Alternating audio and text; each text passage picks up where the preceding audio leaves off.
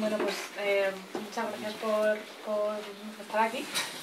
Eh, nosotras somos parte del colectivo A lo Común, que es un colectivo eh, de personas que nos hemos juntado un poco alrededor del tema de la salud mental por desde diferentes lugares. Hay gente que ha sido psiquiatrizada, hay gente que nos hemos acercado desde otros lados. Y, bueno, que, que, tenemos algunas cosas en común, principalmente eh, pues un, un, descontento con la manera en la que se trata la salud mental en el Estado eh, y especialmente pues, con la, la, falta de respeto hacia las personas y la vulneración de derechos humanos. Eh, entonces, bueno, desde ahí hace hace ya cuatro años que, que, decidimos juntarnos y bueno, pues intentar contribuir al cambio en la medida de, de nuestras posibilidades. Eh, una de las formas eh, que, que, intentamos hacer es como intentar señalar las contradicciones del sistema psiquiátrico, eh, que es un poco en la línea donde se marca la campaña de cero contenciones, y, y luego desde otro, ¿no? como, como, desde otro lugar también pues intentamos acercar como otras narrativas un poco distintas a lo que suele ser habitual en, en, la, en la, psiquiatría y en la salud mental hegemónica y dentro de ahí pues eh, se encuadra pues más allá de las creencias que es el libro del que venimos a hablar un poquito pero bueno un poco que nos posibilita también pues eh, eso no hablar de otras de otros discursos de otras maneras alternativas de entender el sufrimiento psíquico. Eh, teníamos otros materiales también que los tenéis aquí y, y bueno, pues es un poco eso a lo que venimos a hablar hoy. Nuestra idea también es poder bueno, generar un diálogo en la medida, o sea, que si en algún momento queréis prepararnos hablar o lo que sea, nosotras encantadas.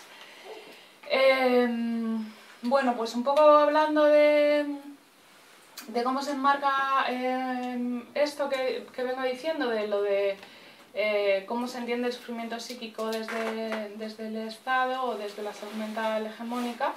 Eh, bueno, normalmente cuando una persona con sufrimiento psíquico acude a los servicios de salud mental, eh, generalmente eh, lo que recibe es pues, normalmente un diagnóstico, eh, generalmente un tratamiento generalmente farmacológico y que, que puede ser todo lo violento ¿no? que, el sistema quiera, sino de, dependiendo un poco de, lo, de, cuál sea el problema, porque pues en este caso el libro de Tamasin Knight habla de bueno, lo que ella llama creencias inusuales, que engloba lo que desde la psiquiatría se llamarían delirios, ideas obsesivas, eh, entonces, bueno, pues cuando una persona viene con este tipo de experiencias a los servicios de salud mental, generalmente pues se le pone un diagnóstico de psicosis y se la medica. Eh, cuando digo lo de la violencia, me refiero a que, bueno, pues esto, si la persona no quiere medicarse, generalmente se le, puede obligar,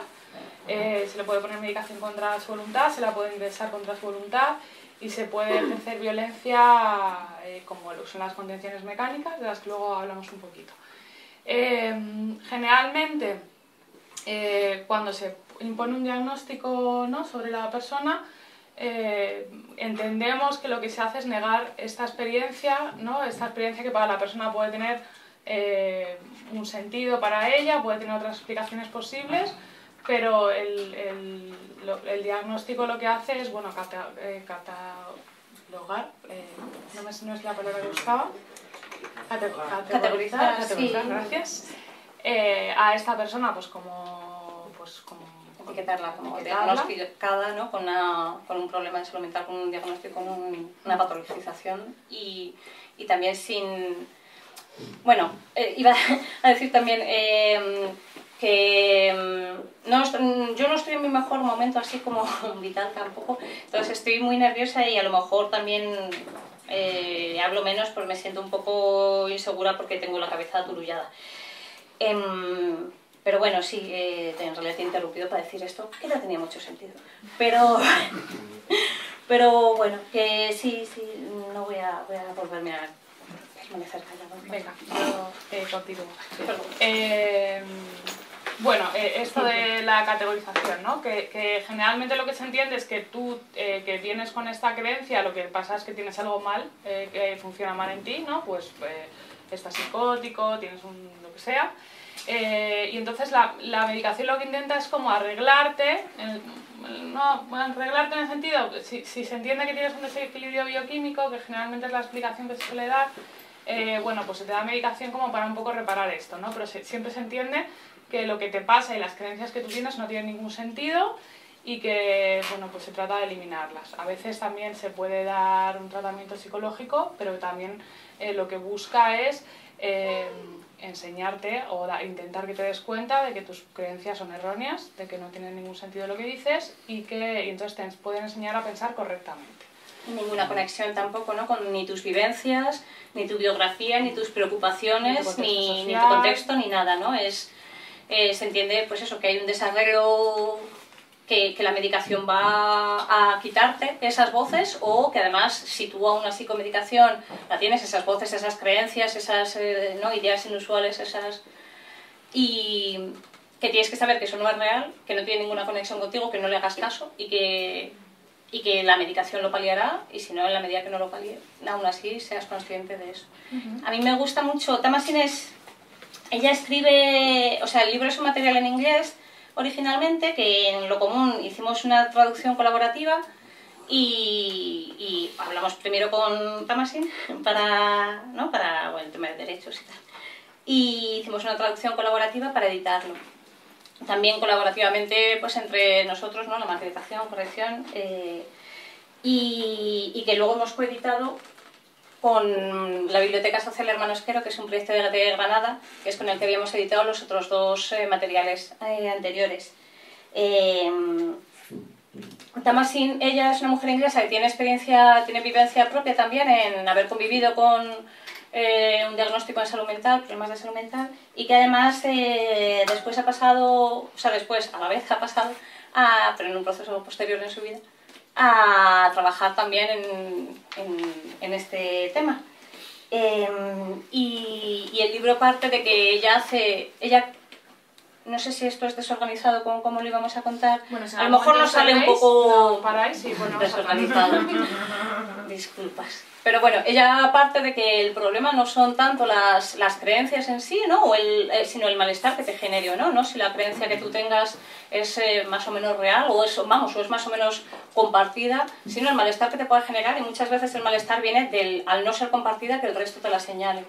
Y, y también ella ¿no? lo piensa como en un continuo, que realmente no hay, hay creencias que podríamos pensar inusuales o podríamos pensar, no inusuales porque sí son compartidas, son habituales, pero que no tienen tampoco mucha evidencia ¿no? de, pero esto es real eh, y que como no como sí son compartidas o son socialmente aceptadas no crean malestar o no crean un problema, no son señaladas, también se convive fácil con ellas, ¿no? Pues creencias a lo mejor pues de tipo religiosas o de tipo ideológicas a veces, ¿no? De, hay gente que se siente en conexión con eh, espíritus, con el más allá, con, Dios, eh, y mientras sea eh, socialmente, digamos, aceptado, no suele tampoco generar mucho problema. pero, pero y, y muchos escucha, o sea, muchas gente que también tiene creencias o tiene escucha de voces o tiene este tipo de síntomas, si los quieren categorizar así, eh, también convive bien con ellos, ¿no? Estaba el, estudio que, hicieron... De, eh, sí, eh, este trabajo también se parte un poco del modelo de escucha de voces, que es un... bueno, esto empieza con un psiquiatra que se llama Marius Rom, que tiene... Siempre digo que, no sé si lo cuento bien, pero creo que era una paciente suya que Em, que te, escuchaba voces. Eh, entonces eh, ella viene un día, se había leído un libro de la mente bicameral, ¿no? Y entonces, eh, bueno, empiezan a, como a trabajar juntos en una cosa de, de, bueno, ella le trae que, que, hay personas en, otros, en otras culturas que escuchan voces y que esto no es un problema para ellas, ¿no? Entonces, que de hecho, pues eh, dependiendo de la cultura en la que estemos, eh, puede ser algo positivo escuchar voces, las voces tienen un significado que no es la sintomatología psiquiátrica como es en nuestra cultura y que, bueno, pues que es como otra manera de entender eh, las voces. a partir de ahí ellos hacen un llamamiento en televisión, en la televisión pública holandesa, eh, como haciendo un llamamiento a las personas que escuchan voces por ahí, por el mundo. Y entonces llama mucha gente al programa y entonces hacen como varias entrevistas y ven que hay una gran parte de las personas que escuchan voces que no están en tratamiento psiquiátrico, ¿no? que son gente pues, que escucha voces y tiene sus vidas y, y no, no, no, no, supone ningún problema para ellos. Entonces, bueno, a partir de ahí... Eh, eh, este señor con otra mujer, Sandra Este, hacen algún libro. Eh, bueno, como que lo que ven principalmente es que las personas que escuchan voces y no tienen problemas con ellas, en general, eh, tienen como cierta sensación de que las voces no controlan su, su, vida, ¿no? de que no tienen poder sobre ellas, de que ellas tienen cierta autonomía frente a las voces y la, y la explicación que le pueden dar a las voces pues es diversa. ¿no? pues hay gente que considera pues, que las voces es una manera de comunicarse pues de, pues eso, espíritus o, o, maneras en las que, bueno, cada, cada persona le da como, como, experiencias distintas. Entonces, en función de el significado que las personas le dieran a las voces, eh, esto podía generar más o menos sufrimiento en las personas. Entonces, un poco desde ahí, ¿no? Eh, desde ahí es como también Tamasin entiende. De hecho, el trabajo de Tamasin, eh, la autora del libro, también consiste en entrevistar eh, a la gente de, de, la red de escucha de voces porque después en, bueno, en Reino Unido y en otros países se han hecho redes de escucha de voces, de grupos de apoyo mutuo entre personas que escuchan voces y que se dan herramientas eh, para, bueno, pues para, para... para... convivir con ellas sin que sean un problema. Sí. ¿no? O para y, y, el libro parte de eso mismo aplicado no tanto a la escucha de voces, sino a las creencias inusuales, lo que es lo que llamaríamos delirio o llamarían delirio, eh, o, ideas obsesivas, paranoicas. Y, partiendo de la idea básica de que, de que el problema es si te crean, o sea, de que no hay un problema por tenerlo así o por crearlo así, sino el problema es si te crean problemas, si te crean sufrimiento y que con eso se puede trabajar con el problema que te crean, más allá de la propia creencia, no centrándose en, pero es que esto es mentira o no, sino eh, si a ti te crea un problema la creencia que tienes, porque por ejemplo piensas eso, pues mm, me están envenenando, me quieren hacer daño, eh, eh, ¿cómo haces con ese problema concreto? Que es a lo mejor, pues es que no siento que pueda beber agua porque a lo mejor le han echado cosas. Y también el relacionarlo eso con que hay veces que, tus, que esa creencia tiene que ver pues, con miedos que tú tengas o con experiencias que has vivido, con inseguridades que, ¿no? mucha gente bueno, eso hablábamos, hay en, salud mental, en, las personas psiquiatrizadas, muchas veces se nos ha dado, por ejemplo, medicación sin que lo sepamos, ¿no? Eh, cosas así y luego parece como muy extraño cuando la gente tiene, tenemos miedo a veces o tiene miedo de, es que no sé si aquí habrá algo. Bueno, igual tiene que ver también con cuántas veces en el hospital o fue al hospital o, ¿no? Me han estado en realidad echando cosas también en, ¿no? O medicación o, o cosas. Y, bueno, y entonces el libro tiene como, a partir de haber ella hecho esta investigación, hablando con personas de cuáles eran sus herramientas en su día a día cotidiano para cuando tenían un miedo, una creencia, una vivencia que les resultaba problemática, les hacía sufrir, qué herramientas les servía para convivir con eso mejor o para sentir más control eh, sobre, sobre esa parte de su vida o tal y el libro recoge un montón de estrategias muy concretas, eh, em, prácticas, de, además de cómo integrarse en esta filosofía de, de que lo que queremos saber es, es, qué te preocupa y qué hacer con eso, qué, qué miedo tienes y cómo lo podríamos trabajar juntos o, intentar poner soluciones eh, y desde el respeto y la escucha y no intentar ayudar a la gente a cosas que a lo mejor no es eso lo que ha pedido ayuda, pero además eso, dar como estrategias, un montón de estrategias concretas que las divide ella en capítulos, pues de estrategias de recuperar el control, de, de sentirse eso, ¿no? De hecho, los hay como un capítulo de técnicas que es el más grande del libro, que es eso, estrategias de reducir el miedo, de, aumentar el control, de mejorar el afrontamiento, de pensar eh, pensamiento lateral, ¿no? De eh, un poco, como que esa es el, la base del, del trabajo de Tamasi.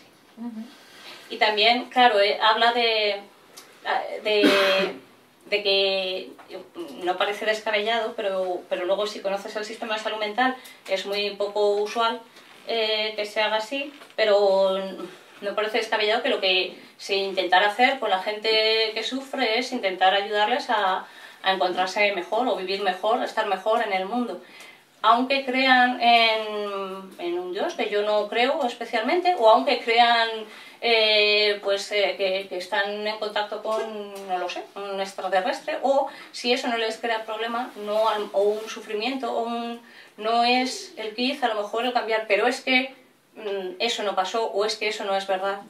¿no? Sí, no, no sé si, si, se va entendiendo esto, que a veces como que hablamos como muy dando por hecho cosas, no, pero el otro día hablábamos, eh, bueno, pues por ejemplo, puede ser una cosa frecuente que una persona sienta que, eh, pues que los demás le están leyendo el pensamiento, ¿no? A veces, eh, bueno, esto se puede entender como una, como un, como un síntoma psiquiátrico, eh, y hay como otras maneras de entenderlo, ¿no? A veces las personas que, que han sentido pues como sus eh, límites muy vulnerados, ¿no? O, han sido de alguna manera eh, invadidas de alguna forma, pueden tener como este tipo de experiencias, se puede entender así, se puede entender de otras formas, cada persona le dará su, su explicación. si una persona tiene esta, esta experiencia, que, que, a veces puede ser muy desagradable y puede estar impidiendo la salida a la calle, pues bueno, pues desde la psiquiatría eh, se le puede decir eso, que lo que tiene es una enfermedad, que lo que tiene que hacer es tomar una medicación psiquiátrica que a lo mejor eh, le hace eh, pensar peor, engordar 30 kilos, le impide, ¿no? le produce impotencia sexual, un montón de cosas que a lo mejor la persona no es lo que más le apetece en su vida. y eso a lo mejor incluso tampoco le, ayuda a salir a la calle e interaccionar con otras personas, ¿no? Bueno, quizá eh, una manera de abordarlo desde la perspectiva de Thomas Knight sería intentar probar pequeñas cosas que pueden hacer que la persona se sienta más segura saliendo a la calle, eh, pues con, algunas herramientas para que la persona no sienta que, está, que, se está, que le está leyendo el pensamiento, lo que podría ayudar a, bajar a rebajar la angustia y desde ahí pues poder trabajar desde, desde otra manera. ¿no? Eh, pensamos que si que, que, esto parte de una, de, de, una posición de respeto profundo a las experiencias de la persona e intentar ver con la persona qué es lo que eso puede significar y de qué manera se puede resolver, más que imponer una verdad desde fuera y, y, y que esto esté por encima de lo que la persona quiere o en cada momento siente que, que necesita. Esto también te pone en otro rol porque normalmente cuando llegas al sistema de salud mental y estás etiquetada o te etiquetan, quiero decir, porque no, estabas etiquetado antes de llegar. Em, y te etiquetan y normalmente muchas veces eh, con temas eh, de este tipo, además la etiqueta es crónica, de repente hacen unas predicciones muy grandes sobre cómo va a ser tu vida, cómo va a dejar de ser, las cosas que vas a poder hacer y las que no. Y, y bueno, y, te sitúa en un rol muy pasivo y muy además de de no tener razón, de no, no saber, ¿no? Es un rol, la verdad, complicado, el de, pues no sé lo que, ¿no? Es todo lo que, un montón de cosas que creías y que eran importantes en ese momento determinado, a lo mejor son mentiras. O pocas cosas, pero que son muy importantes en ese momento, son mentiras, no las distingues. Es, es eh, parte de, de situarlo de, bueno, de otra manera. Y luego, además, eso, hay partes de estas cosas que en realidad ya hacemos muchas veces en bueno, a mí me gusta eso, el pensar en un continuo, ¿no? en la gente... Eh, no, como lo que comentábamos de herramientas que ya usamos para, para enfrentarnos a dificultades, ¿no? Eh, y que lo que quería traer era, por ejemplo, como el ejemplo que me parece que aclara, como el de eh, mujeres que podemos sentir a veces miedo a, ¿no? Por la noche cuando vamos, pues decir, es que pues si vuelves tarde tienes miedo a que te puedan agredir, no sé qué. Ya hay herramientas que usamos en nuestra vida, ¿no? Para convivir con, con ese tipo de creencias. Yo cuando, si crees, eh, a lo mejor me pasa algo esta noche, a lo mejor alguien me agrede, no, no es una seguridad, tampoco es que se base en la nada. Hay agresiones a mujeres, ¿no? las mujeres estamos siendo eh, agredidas, em, hay agresiones sexuales ahí. Entonces, eh, pues en ese hay herramientas desde mm, avísame cuando llegues a casa, mm, hay aplicaciones ahora que se pueden poner en el móvil en plan si te sientes amenazada se mandará, le das a un botón y se manda un mensaje a tres contactos o a lo que sea, ¿no? Esto sería igual, pero en, pues eh, si alguien tiene eso miedo a a salir a la calle o tal. A mí me da seguridad el, para estas cosas, aunque me salgan así caóticas, eh, traerme el pato. ¿Me da, está dando seguridad el pato? Eh, o sea, me da seguridad. ¿Me está protegiendo, ha creado un círculo de protección? ¿Me está ordenando, ayudando a decir las frases más ordenadas? Claramente no. Estoy diciendo las frases bastante desordenadas. Pero me da seguridad salir con el pato, en general meterlo en el bolso y salir a la calle con él. ¿Me crea un problema grande eh, salir con el pato? No. Es verdad que además tengo que meter un, un par de libros, un cuaderno, un día va a tener un problema de espalda. Pero pues estoy saliendo a la calle, me relaciono. Entonces, eso es una herramienta fácil que a mí me, me hace sentir más segura. ¿Es muy problemático que en realidad el pato no me esté seguramente creando un círculo de protección? Pues tampoco pasa nada, tampoco es que sienta ahí ¿no? Pero al final esto se puede aplicar a muchas cosas y es em, mucho más útil para las vidas de la gente que, nos, que, que podemos tener eh, dificultades en el día a día, a veces eh, muy gordotas. Es mucho más útil para mí esto que, que otras cosas. Y además las otras cosas muchas veces ni siquiera dejan de tener, se deja de tener las creencias y lo que se tiene es una desconfianza brutal hacia el sistema, también por las otras violencias que tiene el sistema, no solo invalidar tu voz, tu narrativa, tus creencias, sino violencias como las contenciones o violencias, ¿no? el haber tenido un montón de tiempo una medicación que a lo mejor te mintieron claramente sobre los efectos secundarios que iba a tener o sobre los efectos a largo plazo o... y y, esa, desde esa desconfianza, a lo mejor no es que hayas dejado de, tener las creencias, a lo mejor has dejado de contárselas, de poder confiar en alguien, porque cuando ibas a pedir ayuda, eh, o cuando, por ejemplo, estás en una sesión, tú sabes que si le vas a decir algo, si le dices a tu psiquiatra que estás teniendo estas ideas otra vez, o lo muy posible es lo que diga es, pues subimos la medicación, o pues con esto yo vería recomendable un ingreso, o pues, ¿no? Entonces hay muchas cosas que dejas de compartir qué sistema de salud mental estamos haciendo, si se supone que es el que nos debería ayudar, y, lo que están creando es una desconfianza brutal desde el sabernos no acompañados, sino controlados en una historia como muy perversa, me parece, de supuesta seguridad nuestra y de los demás a veces, pero también está el, el mito de que por lo visto vamos así, pues eso, apuñalando gente en nuestros ratos libres y yo no, no, no suelo, la verdad, no, pocas veces, ninguna incluso, muy, cero, por, por quedar a lo mejor eh, legalmente, no, realmente cero, cero realmente, no, hay, no ha habido apuñalamientos. Eh, pero eso, eh, voy a dejar de hablar otra vez. Mis abogados, no. Habla, Ana, corre. Bueno, eh, no funciona el pato. Hay una. Hay una cosa, no me venía esta palabra como que está tan escuchada el tema del empoderamiento que creo que es importante que quizá, ¿no? Tenemos un compañero que dice que si la salud mental es algo es autonomía y, hay mucho de esto también, ¿no? De, eh, de cómo las personas sienten que, que, pueden hacer frente a situaciones que les son difíciles, ¿no? Y este ejemplo que ponías de las mujeres, que a mí me parece muy bueno, eh, ¿no? Porque, porque realmente yo puedo sentir... Eh, yo me puedo sentir mejor si salgo a la calle con un spray de pimienta por la noche, pero en realidad, pues eso, el spray de pimienta es como el pato, en realidad no, me, no me, está haciendo, no, no, me está protegiendo realmente, ¿no? Pero sí que tengo la sensación de, de, que si pasa algo yo tengo una manera de defenderme.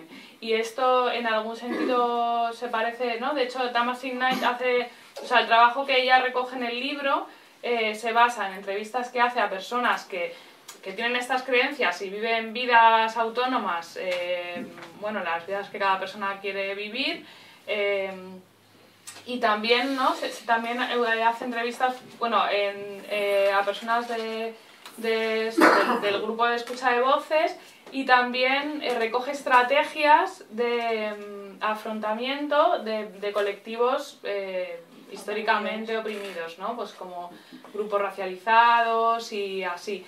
Y entonces, de hecho, algunas estrategias se parecen, pues eso, ¿no? A este tipo de, grupos. Una de las cosas que ella dice es que en función de la creencia que tú tengas, deberías, o, una cosa que pueda ayudarte es tratar de investigar ¿no? y estudiar un poco qué es lo que hace la gente que tiene estas experiencias eh, como las tuyas. ¿no? Y un ejemplo de esto era el tema de los ovnis, por ejemplo, eh, que es verdad que, bueno, también es verdad que hay, cosas como que culturalmente chocan un poco, ¿no? Pues este tema de los alienígenas quizá en nuestro contexto no es tan Sí, yo creo que es muy, o sea, que es más anglosajón, pero es verdad que hay un capítulo concreto como que son solo creencias o problemas o sufrimientos que tienen que ver con las creencias con alienígenas y espirituales, que es el mismo capítulo. Es verdad, yo creo que aquí igual la parte de espiritual sí la tenemos y la parte de alienígenas tiene más que ver con la cultura anglosajona. Yo aquí por lo menos conozco menos gente, o no es tan habitual que la gente, no sus creencias o, mm, tengan que ver con haber sido abducido, con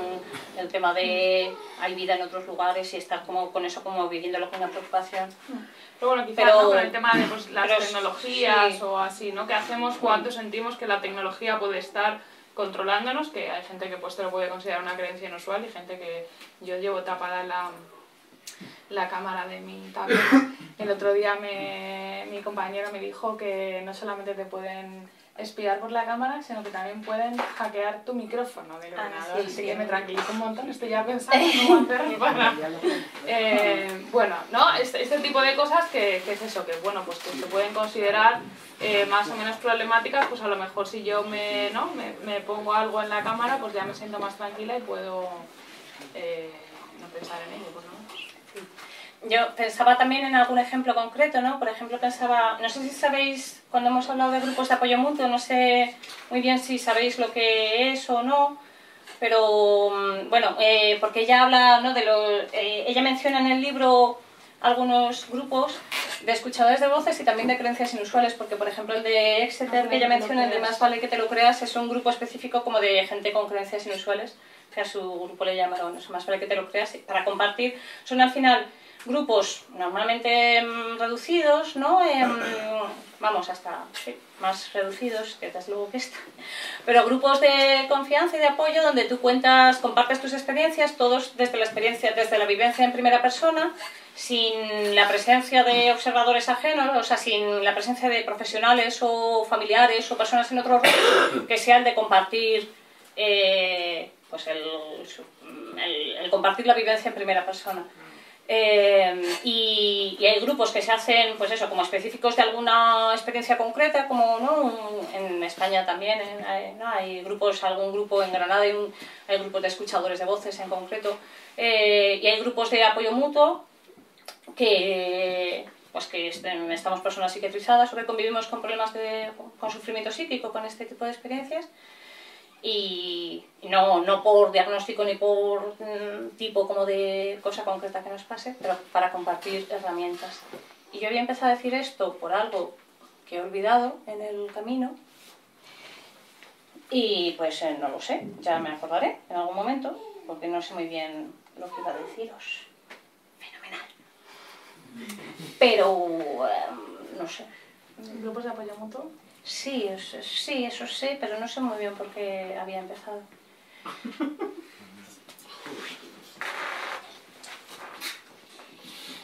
Em, bueno, quizá desde ahí eh, pensaba que, em, por, por, también un marco de la campaña, aunque podemos volver luego al tema del libro, em, que, bueno, que sí que hay como ciertos paralelismos, ¿no? Con este tema de del respeto y de así. Em, bueno, como, también otra actividad de colectivo importante eh, y algo en lo que hemos estado trabajando últimamente es la campaña Cero Contenciones. Eh, bueno, las contenciones mecánicas son una práctica que se utiliza en, todas las unidades de todas las unidades de hospitalización del, del Estado español y también en otros lugares, eh, en general, donde hay eh, situaciones de, especial vulnerabilidad, ¿no? como pueden ser pues, las residencias de ancianos, los centros de menores, eh, bueno, y, centros de atención a la salud mental que no necesariamente son hospital, de hospitalización, centros donde la gente vive y se, la, y se le hacen estas prácticas. Consisten en atar a la gente del tórax, las muñecas y los tobillos a una cama y, y bueno, la gente puede, puede permanecer eh, en, esta, en esta situación pues lo que el personal sanitario considere, eh, que, que, generalmente pues son varias horas, incluso días eh, o puede que más tiempo. Bueno, en el, en el, ahora mismo estamos, que yo no sé si alguien, si a lo mejor alguno de, alguna de vosotras lo, ha, lo, lo, has leído recientemente, hace como un par de años una chica de 26 años murió atada a una cama en el Hospital Universitario Central de Asturias eh, y estuvo atada 75 horas. Eh, ella tenía un, tenía fiebre, tenía, eh, fue al hospital porque llevaba con fiebre de varios días, como tenía antecedentes psiquiátricos en su familia, pues la trataron como una paciente psiquiátrica, la trajeron a una cama y la tuvieron horas hasta que acabó muriendo de, de se, cree que de una meningitis. Eh, bueno, que el caso de esta chica de Andreas es como un caso, bueno, pues como simbólico. Además, la, la hermana, su hermana y su, familia, vamos, están ahora en un proceso de tratar de buscar justicia, pero como que nos parece muy importante, ¿no? Porque, porque bueno, es un caso que ha salido ahora a la luz, pero hay muchos casos como estos que nos han llegado a conocer o que bueno, han pasado a prensa, pero no, no ha habido como tanto, eh, quizá como han tenido como tanta repercusión mediática como este. Yo creo también en el caso de Andrés, yo creo que, que aunque es verdad, vamos, la familia y eh, están diciendo desde el primer momento que el problema no es solo que hubiera un mal diagnóstico, ¿no? que, pero que eso ha influido en que mm, tenga más repercusión, que, que y seguramente porque eh, eh, Andreas no, no, tenía un problema de salud mental. Eh, se equivocaron, digamos, en eso, pero, pero lo dice la familia y, la gente que estamos pidiendo justicia para Andreas, que el problema no es solo que hubiera mal diagnóstico, es que para quién, para qué diagnóstico era buen tratamiento estate 75 horas atada en una cama. ¿no?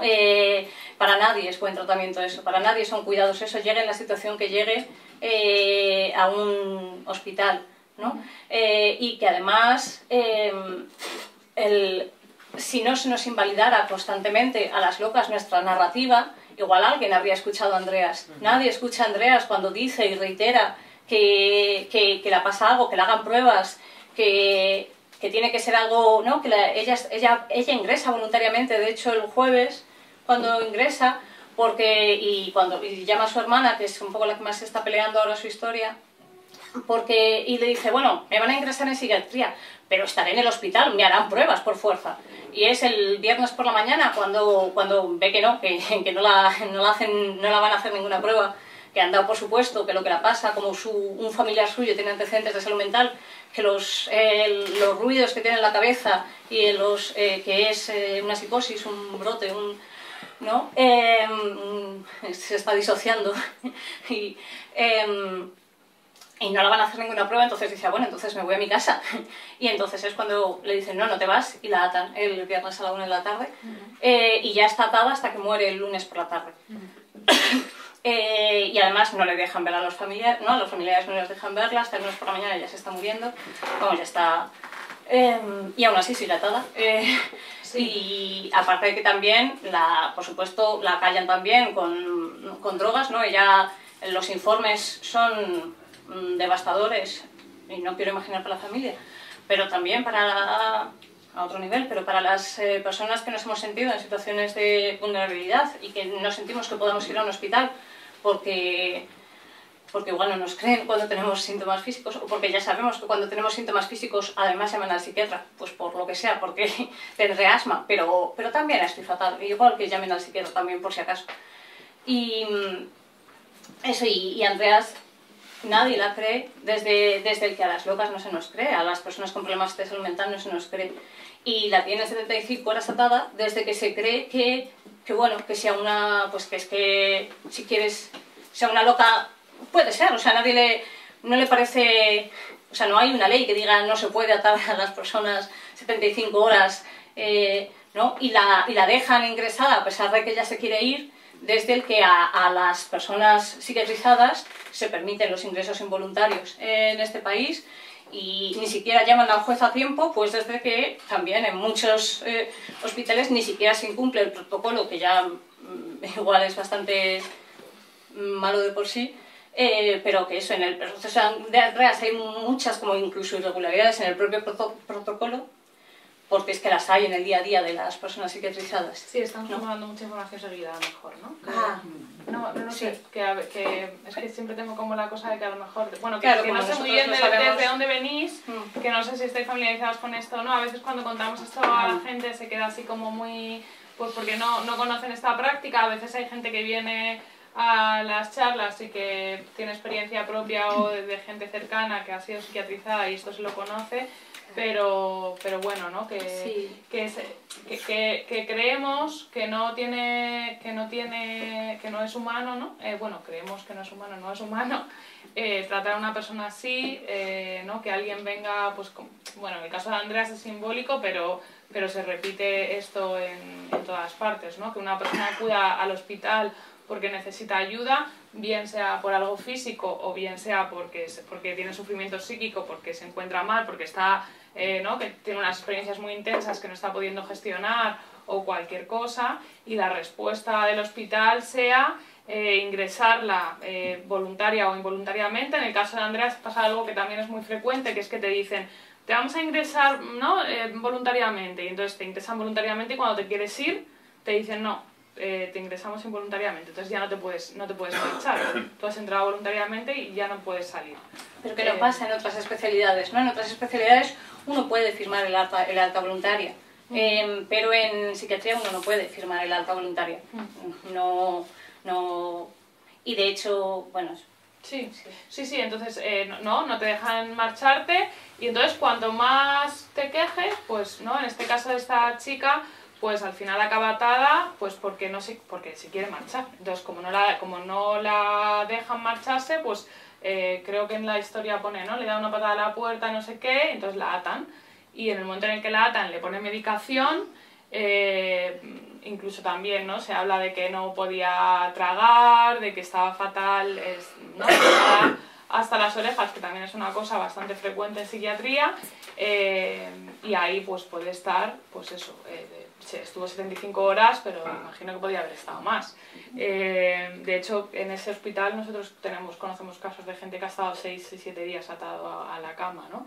Eh, entonces, bueno, eh, no, hay, no hay ninguna práctica que regule esto ahora mismo en el Estado español y una de las cosas que nosotras estamos exigiendo desde la campaña es que esto no, sea, no, no, no haya una opacidad como la que hay actualmente eh, sobre este tipo de prácticas ¿no? Y, que, y, que no, y, que, no, salga gratis hacerle esto a la gente, porque de hecho, eh, bueno, pues porque tenemos a, la hermana de, de, Andreas, que la tía es, bueno, no sé dónde saca la fuerza, la verdad, pero, pero está teniendo muchas dificultades en esto, porque, eh, por supuesto, desde, desde, desde el propio sistema médico, eh, se, se, está negando que esto sea una negligencia, ¿no? Se dice que había criterios para atarla, que, que estaba disociada, que, bueno, pues eh, pasan, pasaron, han pasado, están pasando cosas como que eh, el forense ha hecho un informe diciendo que, pues eso, que había, el, el, forense que ordenó el ingreso involuntario, que es el mismo forense que hizo la autopsia, eh, esto a nadie le suena raro, eh, el tipo destruye pruebas y tal, y, dice pues eso, que no hay, que, no hay que, que, se actúa de manera correcta, ¿no? Y esto es algo que pasa y que ha pasado y que conocemos casos de, gente que ha muerto en este tipo de situaciones, ¿no? Y que, bueno, la autopsia se dice, pues como se dice en el caso de Andreas, ¿no? Que, que bueno, pues que murió por otra cosa, murió súbitamente por algo que no tenía que ver con el ingreso involuntario, ¿no? De la casualidad que estuviera atada. Como que tenía varias cosas a la vez, ¿no? Es que sí, pues tenía su psicosis que necesitaba tal, o su disociación, el problema que claro que habían hecho Natal y que luego aparte murió como de forma muy imprevisible, inevitable esto pasa en las muertes. Yo conozco otra, otro caso también de un chaval que murió en un hospital en Madrid y, y, ¿no? y la autopsia se le hace y dice, no, es que tenía una enfermedad previa pulmonar. Y la gente se queda muy, como muy, ¿no? con la conciencia muy tranquila con esto. De hecho, a mí me lo contó una trabajadora, una, una enfermera, y no se plantea como la posibilidad de, de que, bueno, que a lo mejor eh, hay algo más ahí, ¿no? Y que, que, se están tapando cosas también a nivel, a nivel médico. La eh, campaña un poco, ¿no? por mm, no centrarnos solo en como el tema de Andrea, la campaña eh, eh, en realidad es una reivindicación del activismo de salud mental y del activismo loco, un poco del activismo de gente con problemas de salud mental. desde hace tiempo, pues es algo tan descabellado como que se respeten los derechos humanos en psiquiatría, que igual no estaba de más, y, y que eso pasa, y no lo decimos solo nosotros, las personas que nos han notado, eh, eso pasa, no lo dice también la, la ONU, dicen, pues por, porque las contenciones eh, mecánicas, esto de sujetarnos con correas a la cama, es una vulneración de derechos humanos y ¿no? se considera el relator contra la tortura y otras penas degradantes. ¿Eso? ¿Otros tratos o penas degradantes? Todo así largo, el relator contra la tortura dijo que, que, es que las contenciones eran una práctica que, que podían considerarse de tortura, que muchos las hemos vivido así y que ¿no? y él eh, como que validaba eso desde lo institucional, que parece que igual al relator de la ONU eh, podría tener más valor eh, lo que dice que lo que digamos nosotros para según qué personas. Y aún así eso se sigue atando a la gente en todas las plantas de psiquiatría del Estado español. Y sin dar los datos ni siquiera, eh, se supone también que cuando te atan debería constar en tu historia clínica, que luego, mmm, ni bueno, hay muchísima opacidad, no, no se consiguen los datos. Hace poco se hizo un proceso en Navarra, que han estado un año y pico para para pedir los datos de contenciones eh, y de gente que habían atado en, en esa comunidad. Eh, y, las cifras eran que, que, después de un año y medio como acogiéndose a la ley de transparencia de la, de la comunidad, luego al, al, organismo que gestiona ¿no? la, el que se tenga que cumplir la ley de transparencia, se supone que son datos públicos, que igual que tú podrías decir, pero vamos a ver a cuánta gente, no otros datos en la sanidad pública, deberían decirte ese y, no, no los dan las comunidades. Y en Navarra que sí que hicieron este proceso de irlos, de eso, de cada vez acogerse, ¿no? Pero es que estáis incumpliendo este, esta ley concreta de la comunidad, tal, tal. Y salieron los datos y estaban atando eso a... Ellos dicen como que es una práctica excepcional que se usa solo cuando estás en situaciones de riesgo para ti o para otras personas. Y estaban atando a un tercio de las personas que ingresaban, por lo menos, a un tercio de los niños también eh, menores en las plantas de infanto juvenil a los niños, a los más, más, de hecho, que a los, a los mayores.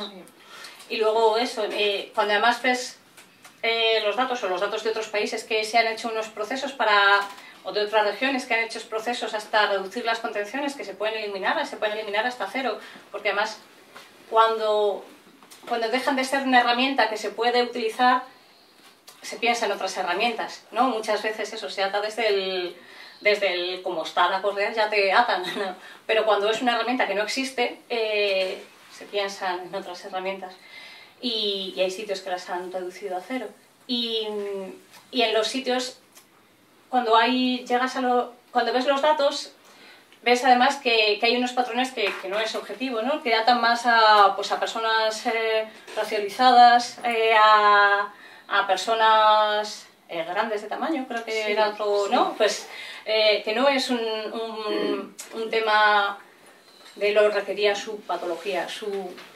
Sí, no, parece pues eso, que se ata más, eh, bueno, los estudios que se hacen sobre este tema, ¿no? Se, se ata más, bueno, que, que no tiene que ver que esto, a pesar de que se cree que tú cuando hablas con un profesional te va a decir que esto se utiliza como último recurso, que se intentan cosas antes, que, ¿no? que se utilizan con criterios objetivos, lo cierto es que se ata fundamentalmente porque el profesional tiene miedo. Eh, entonces puede tener miedo porque no esté formado, puede tener miedo porque está solo, porque no hay gente suficiente en la planta, puede tener miedo porque la persona que tiene delante es una, una persona muy grande, eh, o, porque el, propio profesional tiene prejuicios racistas, ¿no? Y, entonces la persona está, es una racializada y entonces la ato o, por, ¿no? cuando, se, cuando se llegan a estudiar este tipo de cosas se ve que hay diferencias que tienen poco que ver con criterios objetivos de, psicopatología, si lo, quisiéramos llamar, eh, que es lo que normalmente se argumenta, ¿no?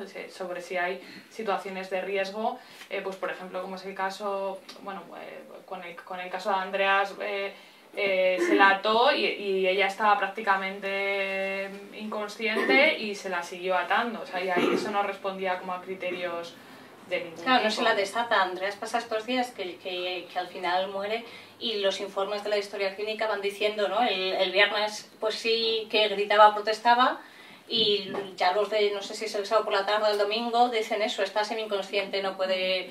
Y aún así no te creas que va alguien y dice, pues mm, no parece que se vaya, si la, el riesgo era se iba a escapar, pues no parece si no se podía tener en, pie, ¿no? ¿no? Pero no te creas que la desatan. Normalmente cuando se revisan los criterios de contención de los hospitales, eh, suele decirse ¿no? que, nunca la contención debería utilizarse como un castigo y sin embargo cuando eh, cuando se hacen trabajos sobre el, este, el, uso de estas prácticas, generalmente las condiciones se utilizan cuando las personas no son capaces de cumplir las normas de la unidad. Eh, que, bueno, pues lo podemos ver como un castigo. La verdad es que a mí me cuesta mucho no verlo como eso, pero no, por ejemplo, en el caso de. Volvemos todo el rato al caso de Andrés, la verdad, pero que no es que sea eh, único. Pero no, pues esto, que una persona se quiere ir, entonces, pues como se quiere ir, pues la atas. Pero en realidad no, no, no es que esté siendo un riesgo para ella misma, ¿no? O para, o para terceros.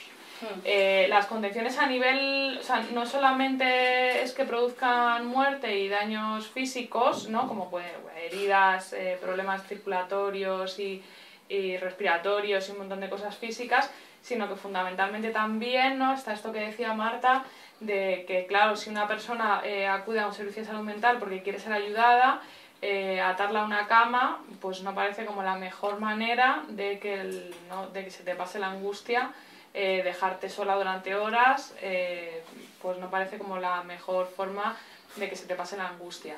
Aparte que, bueno, pues eso, luego, se, luego esas situaciones de que la gente pierde la confianza con los servicios, no, no quiere ir a los hospitales a pedir ayuda eh, y se supone que uno está en los servicios de salud mental para recuperarse, ¿no? Y entonces eh, creemos que estas prácticas son eh, fundamentalmente antiterapéuticas, más allá de que produzcan daños graves. En la campaña también lo que hicimos, digamos, cuando, como al llamarlo campaña, habíamos, recogimos como información que había sobre cómo habían hecho en otros lugares, ¿no? En, en zonas ahí, eh, bueno, varias zonas en Italia, eh, también un cantón en Suiza, ¿no? Un estado de Estados Unidos, ¿no? Pensilvania, eh, cómo habían hecho en esos lugares para reducir las contenciones a cero. Em, también una parte súper importante de la campaña, que de hecho podíamos poner si quieres el... Sí, yo, no sé si estamos ah. hablando, de la estamos hablando de mogollón y yo veo las caras y no sé si a lo mejor, no sé, queréis decir alguna cosa o algo, eh, no sé qué estáis pensando. Yo no sé en los hospitales psiquiátricos, pero en la residencia, yo soy gerontólogo social, no se admiten ya en muchas la sujeción. No se Me temo yo que también hay una exageración. Los hospitales psiquiátricos, me temo. Pero vamos a ver, las enfermedades mentales pueden ser de dos maneras. Las neuróticas y las psicóticas. Y son, son completamente diferentes. Las unas viven la realidad y las otras se evaden de la realidad, que son las psicóticas. Entonces, mm, se emplea no solamente fármacos, se emplea la psicoterapia. Yo estudié psicopatología y se estudia la psicoterapia. No solamente todo es a base de fármacos, se emplea la psicoterapia. O sea que, distinguir entre estas enfermedades, yo creo incluso, pero es una cosa ya mía particular, que va a desaparecer la figura del psiquiatra. Va a pasar como los estomatólogos. Sabes que los estomatólogos desaparecieron y pasaron a los odontólogos. Desaparece el psiquiatra y pasa al psicólogo clínico, con la carrera y con el PIR, porque no es necesario, yo creo que, yo creo que no es necesario eh, ser médico para las enfermedades mentales. Otra cosa son las enfermedades neurológicas, que es así, esas son, bueno, también esas son enfermedades fisiológicas, ¿eh? la demencia, la Parkinson, todo eso. Las enfermedades mentales, tanto las neuróticas como las psicóticas, las psicóticas claro son más. Pero vamos, no se emplea solamente fármacos, se emplea muchas veces lo que se llama curar hablando, la psicoterapia, eso. y es eso, es eso. Pero que Sí, bueno, es verdad, sí, claro, em, bueno, no sé, la experiencia, eh, en, esto que hablábamos, que querías poner a lo mejor el testimonio de...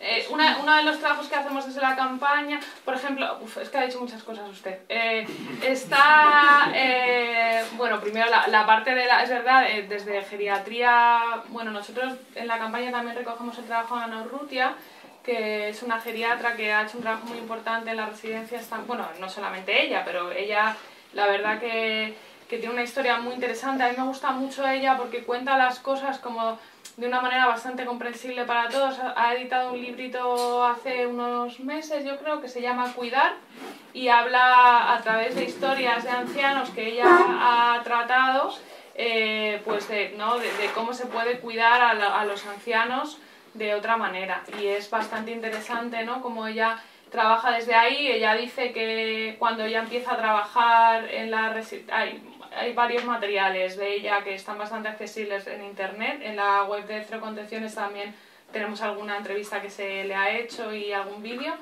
Eh, ella, por ejemplo, habla de esto, ¿no? de que cuando ella empezó a trabajar en residencias de ancianos, ella eh, ataba a los, a los abuelos con los que ella trabajaba, eh, pues, pues por estas cosas, ¿no? Para que no se caigan, para, bueno, por lo que se suele sujetar a los ancianos y a, los, y a, y a las personas con problemas de salud mental. Por ejemplo, a Andreas, una de las cosas que se le que se pone es que se le ató porque, para que no se cayera. Eh, y entonces, ¿no? Como que de repente un, el yerno de una señora que está allí viviendo eh, viene como muy enfadado con ella y le dice que en su país eso no se hace, ¿no? Y entonces ella dice que se enfada mucho al principio y que, y que, no, dice, en ese momento no, lo vi así, pero luego cuando lo he podido pensar me pareció un regalo, ¿no? Porque ella eh, se puso a buscar información pues, de cómo se hacía en otros países y se dio cuenta de que efectivamente en otros países no se sujeta a los abuelos. Entonces, a partir de ahí, pues hay como muchas... Ella trabaja en un proyecto, se llama Libera Care, y, ella, bueno, pues eh, inició un trabajo en su propia residencia en el que consiguió eh, que se eliminaran por completo las sujeciones y luego a partir de ahí ha trabajado con varias residencias también para eliminar las sujeciones. No en todas las residencias eh, se han eliminado las sujeciones.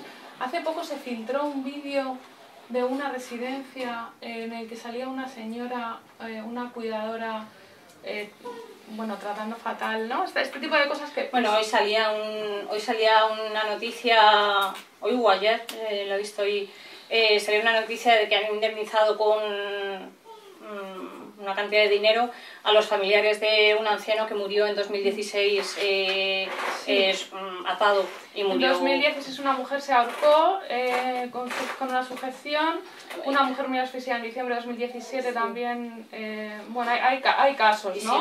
claro, y sí, o sea, sí, de hecho ahora mismo como las residencias libres de sujeciones, por ejemplo, una cosa que, que hizo, que está haciendo esta geriatra que comentábamos, es eh, como tener un sello de libre de sujeción como residencia y, como que este trabajo también ha sido mm, novedoso por lo, por lo que... Mm. Aparte, bueno, aquí de hecho en 2015 también murieron nueve personas en una residencia que se incendió en Zaragoza porque se piensa que eh, eh, había algunas atas en la cama. Bueno, hay, hay como, como muertes, ¿no? Eh, pero quizá no es, no es las muertes lo que más nos... O sea, sí, sí, o sea, las muertes son preocupantes, pero, pero que, que nos preocupa también mucho el trato que a personas que, se puede, que se pueda considerar esto como un trato ¿no? hacia las personas que, que están en esta situación de especial vulnerabilidad porque al final son gente que como que no se puede defender. Sobre la, sí, perdona. No, sí que yo quería decir como eso, la campaña sí recoge em, una cosa que dijimos es que si querían compartir testimonios, gente que, que hubiera sido atada también, nos los enviase y la gente, eso, eh, sí mandó, mandó testimonios, ¿no? Em, no sé si exagerados o no, porque cada cual luego su subjetividad de cómo lo haya vivido eh, puede ser suya, pero la gente mandó testimonios eh, difíciles, mm, para mí difíciles de, vivir y de escuchar. Y, mm, no, bueno, también la, campaña tenía eso, materiales de cómo se había hecho en otros países para reducir y, y también materiales informativos de qué podía hacer cada uno que estuviera preocupado por este tema. Eh, todos los materiales son de libre distribución, los puede cada uno coger, adaptar, utilizar. Em, y no sé, a mí es verdad, o sea, bueno, no sé, creo que em, por compartirlo también, sí es verdad que me, me, cuesta ¿no? cuando se comparten vivencias difíciles y como la, alguna respuesta es si se está exagerando. Porque, bueno, por mm, compartirlo también desde la honestidad de que ahora estoy así como un poco revuelta de, hombre, exagerar, exagerar es un poco, mm, siento osado a lo mejor desde el lugar de, ¿no? Pero no mm, lo quiero tampoco desde la confrontación, que a veces es verdad que me sale. Pero yo sí he sentido, me parece muy grave que, que, la excusa, por ejemplo, para mí, que yo no recuerdo las veces que he sido atada, tampoco recuerdo los ingresos bien, pero no sé, es verdad que, pero seguramente cada ingreso por lo menos una vez me han atado. Y, y bueno, que, que, que eso se, se, se, se pongan como que eso era para mm, mi protección, ¿no? O, que la narrativa sea que eso se hace para cuando no ponernos en riesgo, yo siento que eso es lo que me ha puesto en riesgo, porque eso es lo que ha hecho que cuando yo ahora mm, pienso eso, pero esto lo estoy distinguiendo bien, o, o, algunas cosas, yo ya no puedo ir a urgencias, desde luego no de salud mental, o sea, yo no voy a urgencias por problemas de salud mental, eh, o por una crisis de salud mental, todo mi entorno sabe que por favor lo último que hagan es eh, llevarme a urgencias. En, en, noviembre del año pasado, eh, un chico que llamaron a, a, los Mossos en Cataluña para, por un tema de una crisis de salud mental, murió en el, tras, en el traslado cuando le habían llevado, ¿no? Se resistió por lo visto a que le ingresaran y le ataron en la ambulancia y también murió en noviembre, ¿no? Entonces, yo siento que eso es lo que, o sea, que las violencias del sistema es lo que a mí me ha puesto en riesgo, el que yo no pueda ir a pedir ayuda al sistema de salud mental, o el que si a mí me pasa eso, incluso cosas físicas, yo piense antes, pero no hay manera de solucionarlo en el ambulatorio, en el no sé qué, pero no en el hospital, no me llevéis al hospital, ¿no? Eso es ponerme en riesgo, pienso. Sí, bueno, pensaba en esto de, de, que decías de los testimonios, que es verdad que cuando empezamos la campaña, una de las cosas que hicimos fue recoger testimonios, porque es verdad que, bueno, nosotras desde el colectivo tenemos, eh, bueno, yo personalmente no, no, he tenido la experiencia de ser atada, eh, pero sí he tenido la experiencia de atar a mucha gente, porque yo he trabajado en una unidad de hospitalización eh, bueno, y, quizá, y, soy profesional de la salud mental y sí que desde ahí pues puedo decir que esto se hace bastante eh, más de lo que debería, que es nada en concreto. Em, eh, me, me, pasa que, esto de, la, de, los testimonios me parece muy importante porque quizá recoger una voz ¿no? que, que normalmente no se escucha. normalmente eh, se entiende que las personas que cuentan esto están locas eh, y que no son, eh, no, no, no, no, tienen credibilidad, ¿no? Por esto, pues, pues de la psicosis o, o, por lo que sea, ¿no? pasa que las mujeres son abusadas en las plantas de psiquiatría y, y si ya es complicado creer a una mujer que es abusada o, o pues una mujer loca, pues pues no la cree nadie, ¿no? Eh, Ahí se junta ya, claro, el, si eres mujer, o sea, cuando denuncias abuso siendo mujer, ya te cree poca gente, a los locos y las locas nos cree poca gente en general, porque igual estamos delirando, ya se junta ser mujer y mm. loca, ¿no? Ya denuncias cosas además de como del que vengan en el sistema. Pero ¿qué, consideran locas? Porque locas es un concepto un vulgar que, no, existe. Bueno, no bueno, no existe, bueno, yo lo estoy usando así que existir existe. pero, se dice, pero vale. científicamente es esquizofrenia. Es esquizofrenia. La locura. en la locura Científicamente, científicamente es O sea, sí existe, entonces pero, no existe, pero no locura, ah, palabra, por eso digo yo que... Vale, sí, yo estaba considerando problemas de salud mental, eh, diagnóstico, psiquiatrización, es verdad que eh, las personas con problemas de salud mental, una cosa que hacemos es, o que algunas desde el activismo, una cosa que hacemos es reapropiarnos de palabras que se han usado para invalidarnos o para negarnos nuestra narrativa, ¿no? Como por ejemplo hizo la comunidad LGTB cuando se reapropiaba del insulto bollera o marica y lo cogen para reapropiárselo y nombrarse a sí mismas bolleras eh, eh, para bueno, para reapropiarse de la palabra que se ha usado para insultarlas. Como a las mujeres, y no solo en realidad las mujeres psiquiatrizadas, pero el loca se ha usado despectivo, mucha gente desde el activismo y, se usa, vamos, se usa todavía despectivo, tú estás loca, se usa para eh, no te creo o no tienes razón, esto es una locura, mucha, claro, estás exagerando. Eh, dramática, histérica. Sí, bueno, sí, es una forma de hablar, despectiva la, bueno, cuando se le dice normalmente a alguien, igual que cuando se decía eres eh, ese maricón, también a lo mejor era una forma de hablar, era un, ¿no? para despreciarle, y la loca normalmente se usa, ver, una palabra, igual no con ese no sé si con ese tinte tan agresivo, pero es una palabra que se usaba para... Nadie decía, esta académica premio Nobel loca, total... No, normalmente loca era como una cosa de no tienes razón, estás loca, estás exagerando, eres una histérica. Todas estas palabras que son palabras y a la vez algunas eran en su momento también a lo mejor un poco diagnóstico, ¿no? De histeria. Eh, y eh, pues eso, hay personas que convivimos con estos diagnósticos o con este proceso personal de psiquiatrización y cogemos la palabra para reapropiárnosla y ponerla en valor y desde ahí hacer ese proceso personal porque nos sirve.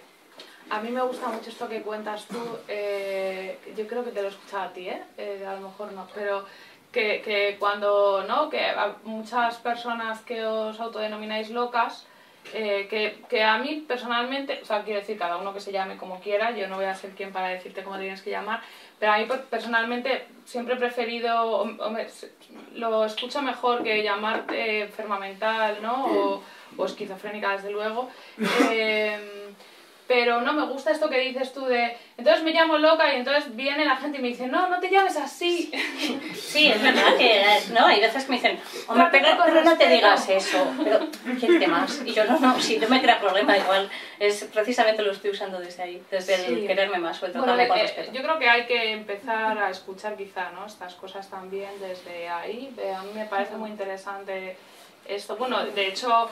Eh, de hecho, está el Orgullo Loco también, que, que hace este es el segundo año que se hace eh, a nivel estatal y un poco la, la, idea también es esa, ¿no? Bueno, eso a lo mejor lo cuentas tú mejor que yo. Sí, no, bueno, eso también, pues también es, em, o yo considero que estamos aprendiendo muchas cosas de, la, de, otras, de otras opresiones o de la que ha sufrido la, la comunidad de lesbianas, gays, LGTB.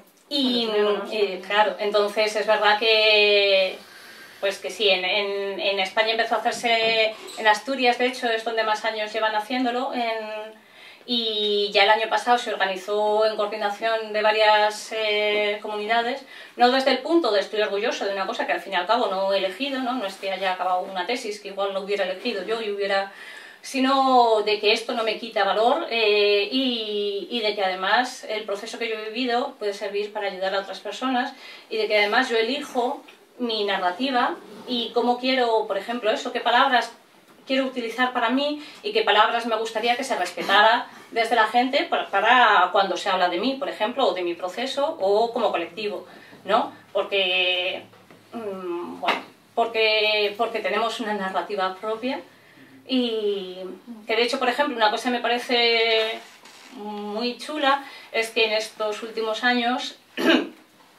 me está viendo narrativa propia que no la había antes en problemas de salud mental. Eh, y no solo se habla de la locura desde el lugar del cuerdo que habla de la locura y hace una película, ¿no? Y hace un, pues no sé, psicosis, eh, o hace un, el alguien vuelve sobre el nido del cupo, por poner como dos muy diferentes, em, sino que nosotros mismos estamos escribiendo, estamos haciendo, estamos haciendo nuestras mm, obras de teatro, nuestras eh, novelas gráficas, nuestra, nuestra propia narrativa y nuestra propia contar nuestra historia desde nuestra propia voz y no desde una voz, que tampoco desde la voz de la psicoterapia, ¿no? Tampoco desde la voz, porque lo que decíamos antes, no hemos dicho que solo se usaran fármacos, hemos dicho que prácticamente todos, además,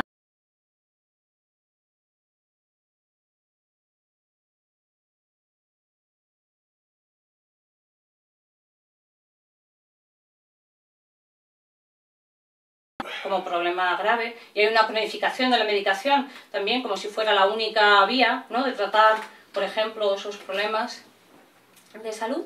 Eh, sin pensar tampoco en los, o sin avisarnos, desde luego, de los efectos secundarios que tiene esa misma medicación a largo plazo. Em, y ahora es verdad que se me ha... Bueno, y pensaba que, ¿no? que la narrativa, la narrativa esta de la ciencia es una narrativa que precisamente cuando hablamos del libro de Tamasin, em, esto es lo que pone en valor ella también, ¿no? Ella dice, la, narrativa de la ciencia es una y no es superior a otra narrativa en la que yo considere que mis voces, ¿no? Hay esta mujer que me gusta a mí tanto, australiana, eh, se me olvida su nombre y la adoro en realidad. Eh, eh, Jane Newman es, bueno, eh, si me acuerdo lo, repetiré, pero ella habla, ¿no? De que para ella, ella tiene varias voces que empiezan cuando, cuando ella, cuando tiene 15 años empieza a escuchar voces y, bueno, a través de un trabajo que ha hecho, entre otras muchas cosas, gracias a la red de Voces de Australia, eh, ella identifica una de sus voces como su voz como la voz de su madre, que es su madre murió y que en momentos de gran angustia, en momentos en los que ella ha querido matarse, eh, la ha ayudado a no, a no matarse, ¿no? Entonces dice, bueno, a mí la gente me puede decir que esta voz es una cosa mía, producto de mi cerebro, pero para mí es mi madre, es la voz que me cuida y, y, y ya está, ¿no? ¿Y quién eres tú para decirme que, esto es una, una alucinación? Pues eh, claro, como realmente la ciencia tampoco explica esto, porque, porque por mucha, ¿no? hay teorías, se habla esto del desequilibrio, eh, del desequilibrio, pero incluso, ¿no? citabas tú a, los relatores, está este relator, em, joder, se me, hoy estoy con los nombres, eh, Daniel Spiras, que habla ¿no? de que uno de los factores que han, que, que han hecho que la salud mental eh, no, uno de los grandes obstáculos a la salud mental ha sido la consideración biológica ¿no? de, los, de, los, problemas de salud mental. Eh, entre otras cosas, esto del desequilibrio bioquímico, la sobremedicación y todas estas cosas. Eh, bueno, pues esto, ¿no? La, la, explicación científica es una y habrá gente a la que le sirva la explicación científica, ¿no? Habrá gente que le ayude a considerar que tiene una enfermedad y, fenomenal, ¿no? Lo que decimos es que eh, es, eh, también es violencia imponerle al otro una explicación sobre su propia experiencia, ¿no? Eh, también es violencia decirle a una mujer que considera que, que, tiene algo bueno, que, que, es peculiar y que la ayuda a sobrevivir, decirle que lo que le pasa es que no tiene un defecto y que lo que tiene que hacer es tomar medicación para que se le quite. y además es una narrativa también cultural, porque ¿no? en otras culturas o en otros eh, momentos históricos no se ha visto así. Hablábamos, ¿no? Eh, lo, cuando de, lo de la locura... duelo, por ejemplo, también, ¿no? Hay, hay gente en, en, en, muchas regiones que el proceso de duelo normal, habitual, normalizado, nada patologizado que hacen es cuando se muere una persona querida, estarla viendo y hablando y escuchándola para despedirse un año, dos años, el tiempo que sea, y nadie en esa cultura no está patologizado. Contaba, nos contó un, antropólogo médico eh, catalán, que es Ángel Martínez, eh, nos contaba el año pasado una formación eh, cómo, por ejemplo, eh, gente nativa americana que había crecido aún en reserva, eh, luego, cuando al, estar en otro entorno se había muerto alguien querido suyo y, y, había hecho el proceso que hacía toda su gente, ahí, claro, ahí sí se lo habían, o sea, se lo habían psiquiatrizado, ¿no? Porque no, no te podías estar despidiendo de tu eh, mujer pensando que es que venía a verte por las noches para que todavía le contaras cosas o para eh, arreglar o para despedirte, ¿no? Por lo tanto, es que ni siquiera yo soy muy poco, o me considero, o sea, me considero bastante como escéptica en, en, o sea, o, bueno, en, en procesos em, espirituales, eh,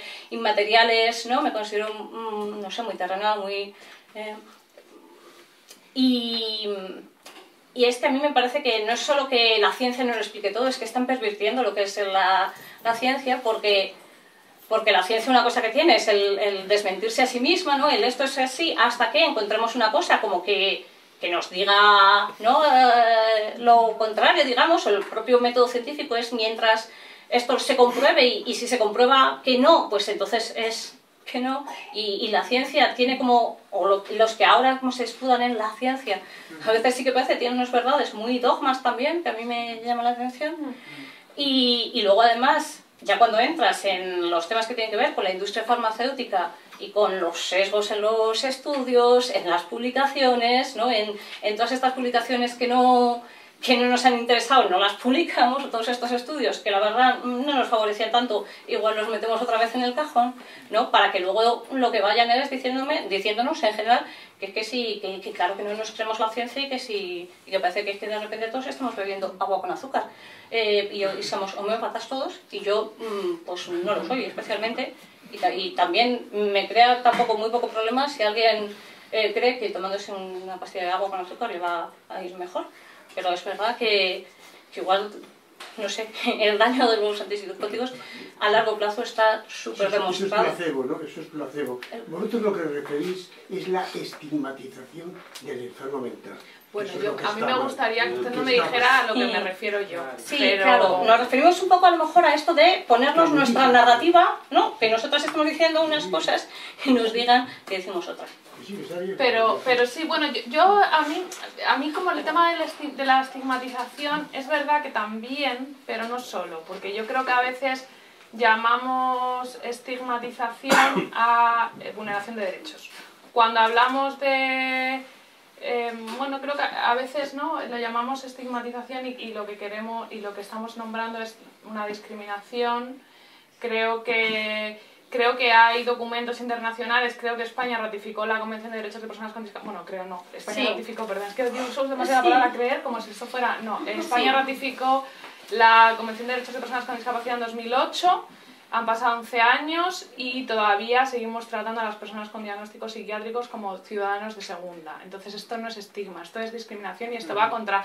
Y, de hecho, nuestro, eh, según nuestra Constitución, eh, si ratificamos eh, la Convención, deberíamos incorporarla a nuestro ordenamiento jurídico y entonces no deberíamos estar, por ejemplo, ingresando a las personas eh, por motivo de trastorno mental, que eso es una cosa que la Convención recoge, es una cosa que España ratifica y, seguimos haciendo porque tenemos el artículo 763 de la Ley de Enjuiciamiento Civil que eh, es anticonvención.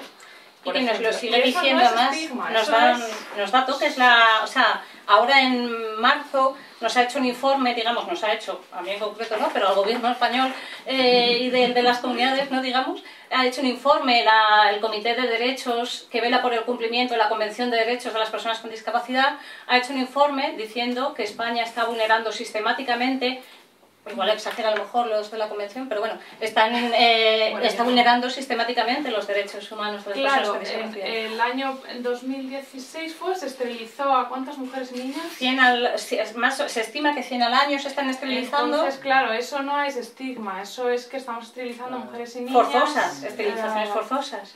Y que de eso, y que la convención, y que el relator de la ONU dijo en 2013 que eso no se podía hacer eh, Hasta estas elecciones de este año, personas con discapacidad intelectual y con problemas de salud mental que hubieran sido incapacitadas jurídicamente habían perdido el derecho al voto cuando eh, ya desde la convención, o sea, otra vez desde la ratificación de la convención tenían que haberlo cambiado.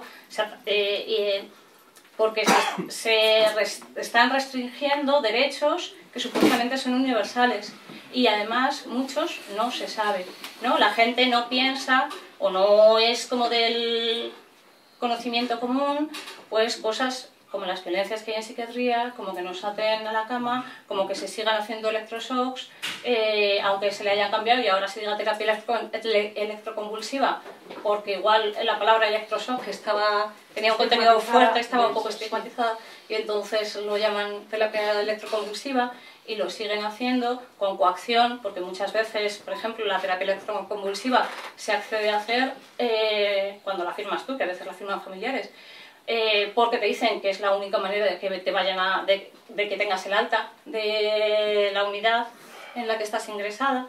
Entonces hay un montón de medicaciones, o medicación forzosa, tratamientos forzosos, ingresos forzosos, eh, inmovilizaciones físicas eh, forzosas, eso, aislamiento forzoso, y eso dentro de que, de que de los cuidados que se supone que nos dan. A mí me parece muy peligroso que confundamos tan fácil cuidado con control eh, y que estemos eso en una, en una cultura en salud mental que, que creo que entiende el cuidado desde el control, si es que piensan en el cuidado, y que de hecho se basa en, muchas veces en la coerción y en la coacción. Tenéis razón, eso se llama la biologización de la, de la salud mental. Perdona, Mira, y ellas están tratando de hacer, o sea, de completar la charla. Yo entiendo que tienes muchas ganas de participar, pero hay un montón de gente que puede que también tenga. Entonces, igual, cuando den el turno de palabra, damos la oportunidad a todas las personas. No sé si a lo mejor poner el audio de, de, la, campaña de Rosalía. Sí, no sé. O, o no sé si nos queréis como hacer preguntas vosotros o vosotras, ¿sí? O comentarios, vamos. Yo, yo quería ver si podéis profundizar en que habéis dicho antes, que había países o zonas que habían llegado a, a las cero convenciones y eso, a partir del momento que llegas eso, las convenciones como que buscas otras alternativas. Pues eso, primero qué, países o qué zonas, luego sobre todo qué, qué alternativas también encontrar. Bueno, así como también como para señalarlo, eh, deciros que tenemos una web que forma parte de la campaña que se llama cerocontenciones.org y ahí hay como muchos materiales. Eh, eh, está, bueno, hay, bueno que, que, podéis entrar y entre otras cosas está esto que comentas, como recogemos experiencias de lugares donde no se contiene. bueno, no se contiene, hay seguro que se me olvidan sitios, pero así que conozcamos está Ticino, está Rávena, está Módena, está Pensilvania. Eh, hay una unidad en Tromso que es libre de medicamentos psiquiátricos también y que la verdad es que... Tromso, Noruega. Tromso, Noruega. Que Sí, porque Tromso parece que de repente es tan Tromso. ¿eh? y igual no lo sabemos porque leemos que si no, yo la verdad no he estado. Pero podríamos estar. Eh, también conocemos alguna experiencia local eh, muy puntual. Por ejemplo, también recogemos en la, en la web eh, una, una, entrevista que hicimos a una psiquiatra que ella habla de... Esto es, esto es bien interesante y tiene que ver con lo que decías. es una psiquiatra a la que queremos profundamente, que ella empezó a trabajar en, una, en, una, en urgencias de un hospital de Alcázar. Entonces, eh, ella cuando llegaron allí ellos pidieron contenciones porque era como, o sea, quiere decir que ella dice, no, yo no lo pensé, ¿no? Simplemente pues las pedimos porque era lo que se hacía, pero tardaron como un año y medio en llegar. Yo quiero pensar en un becario boicoteador de que nunca mandó el correo al, almacén. La verdad me hace muchísima ilusión pensar siempre en becarios boicoteadores del sistema y quiero pensar en, es un poco al margen de todo, pero quiero pensar que, que alguien aposta no mandó nunca, no hizo llegar la orden de, de que enviaran las contenciones y si trabajáis en sitios de salud mental os diría escamotead por ahí las órdenes de que pidan contenciones nuevas en los almacenes. Entonces, eh, bueno, ya hace todo un análisis de por qué no se... De, claro, durante todo ese tiempo que, que no llegaron las condiciones no se ató a nadie, eh, porque no había. Entonces, por eso, ¿no? Lo de cómo, cómo se pone en marcha la creatividad cuando de repente el recurso a la contención no existe. Eh, esto es bien interesante porque también, o sea, en realidad, jo, a ver si lo... Si, por, Thomas Menegger, que es el psiquiatra este que trabaja en Ticino, que es el jefe de psiquiatría, Por geografía sí, que yo tampoco sabía dónde estaba Piscino. Eh, él también habla de, de, esto, de cómo las, en el momento en el que se, las contenciones se eliminan de la unidad es cuando se puede empezar a trabajar eh, sin contenciones y a mí me parece una cosa como muy importante porque a veces cuando se habla de esto con gente dice no, vamos a reducirlas, ¿no? Me gusta mucho este Miquel, Miquel Munarriz creo que es, que es un psiquiatra de la, de la Asociación Española de Neuropsiquiatría, que dice los sitios donde se quieren reducir se reducen y los sitios donde se quieren eliminar se eliminan. Claro, dice, ¿cuál es el objetivo? Porque es verdad que muchas veces en este país se habla de eliminemos el abuso en las contenciones, ¿no? Esos casos en los que no era necesario. Pero es que si hay sitios donde no están atando, es que ningún caso es imprescindible. Entonces, y si ningún caso es imprescindible y estamos haciendo una práctica que puede ser súper traumática, pues si no es imprescindible, igual no la hagamos. ¿no? Y, y, él dice mucho eso, ¿no? Solo yo se lo he oído varias veces también. Si el objetivo, no eso, si el objetivo es eliminar, se consigue eliminar. Si el objetivo es solo reducir, como mucho conseguiremos reducir, eliminar los abusos. Pero es que igual todo abuso es abuso. sí, todo abuso es abuso, sí. El, el, ¿cómo, se ¿Cómo se hace? Pues por ejemplo esto, ¿no? Ella, esta psiquiatra... Eh, habla de cómo, de cómo trabajaba con las personas allí, ¿no? De, pues, pues también utilizaba muy poca medicación, que a mí eso también me hace mucha gracia con esto del becario boicoteador, ¿no? Como que eh, además la medicación era muy, eran dosis muy pequeñas, entonces dice, claro, entonces de repente si querías medicar a alguien le tenías que dar como 10 pastillas, era como una cosa como rarísima, ¿no? Y la gente pues no, no se quería tomar, bueno, no, como que, que parece que como todo estaba como en dificultad para que la gente, ¿no? Para contener a la gente química o mecánicamente. Y entonces se habla de pues que eso, cómo lo hacía, ¿no? Pues ella, una de las cosas que dice que recogemos en entrevistas, yo lo hacía todo con la persona. Yo estaba con la persona cuando, no solamente en la entrevista, sino luego si teníamos que llamar a una ambulancia, eh, hacía el informe con la persona al lado, ¿no? Como que, pues, como otro tipo de trato, que yo creo que quizá es como lo fundamental en la... bueno, quizá no solamente en la eliminación de las contenciones, sino quizá cuando hablas con la gente de cuando ha tenido una relación terapéutica significativa con el otro, tiene que ver con eso también, ¿no? Eh, ella estaba en una unidad de urgencias. Hay unidades de urgencias que el protocolo es si vas solo, eh, estás atado.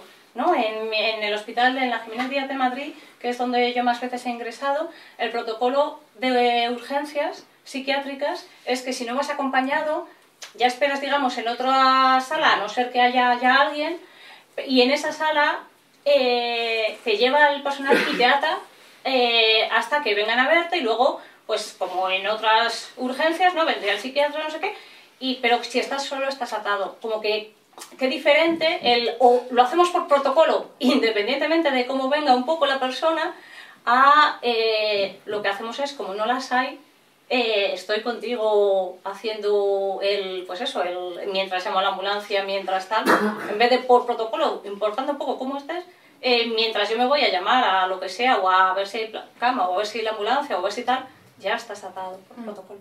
Y Olaya, esta psiquiatra, dice además que, bueno, es una frase de no, no atamos porque se agitan, ¿no? porque como que muchas veces es como eso, es que es Ah, como en la historia pues suele poner, ¿no? Agitación psicomotriz o agitación.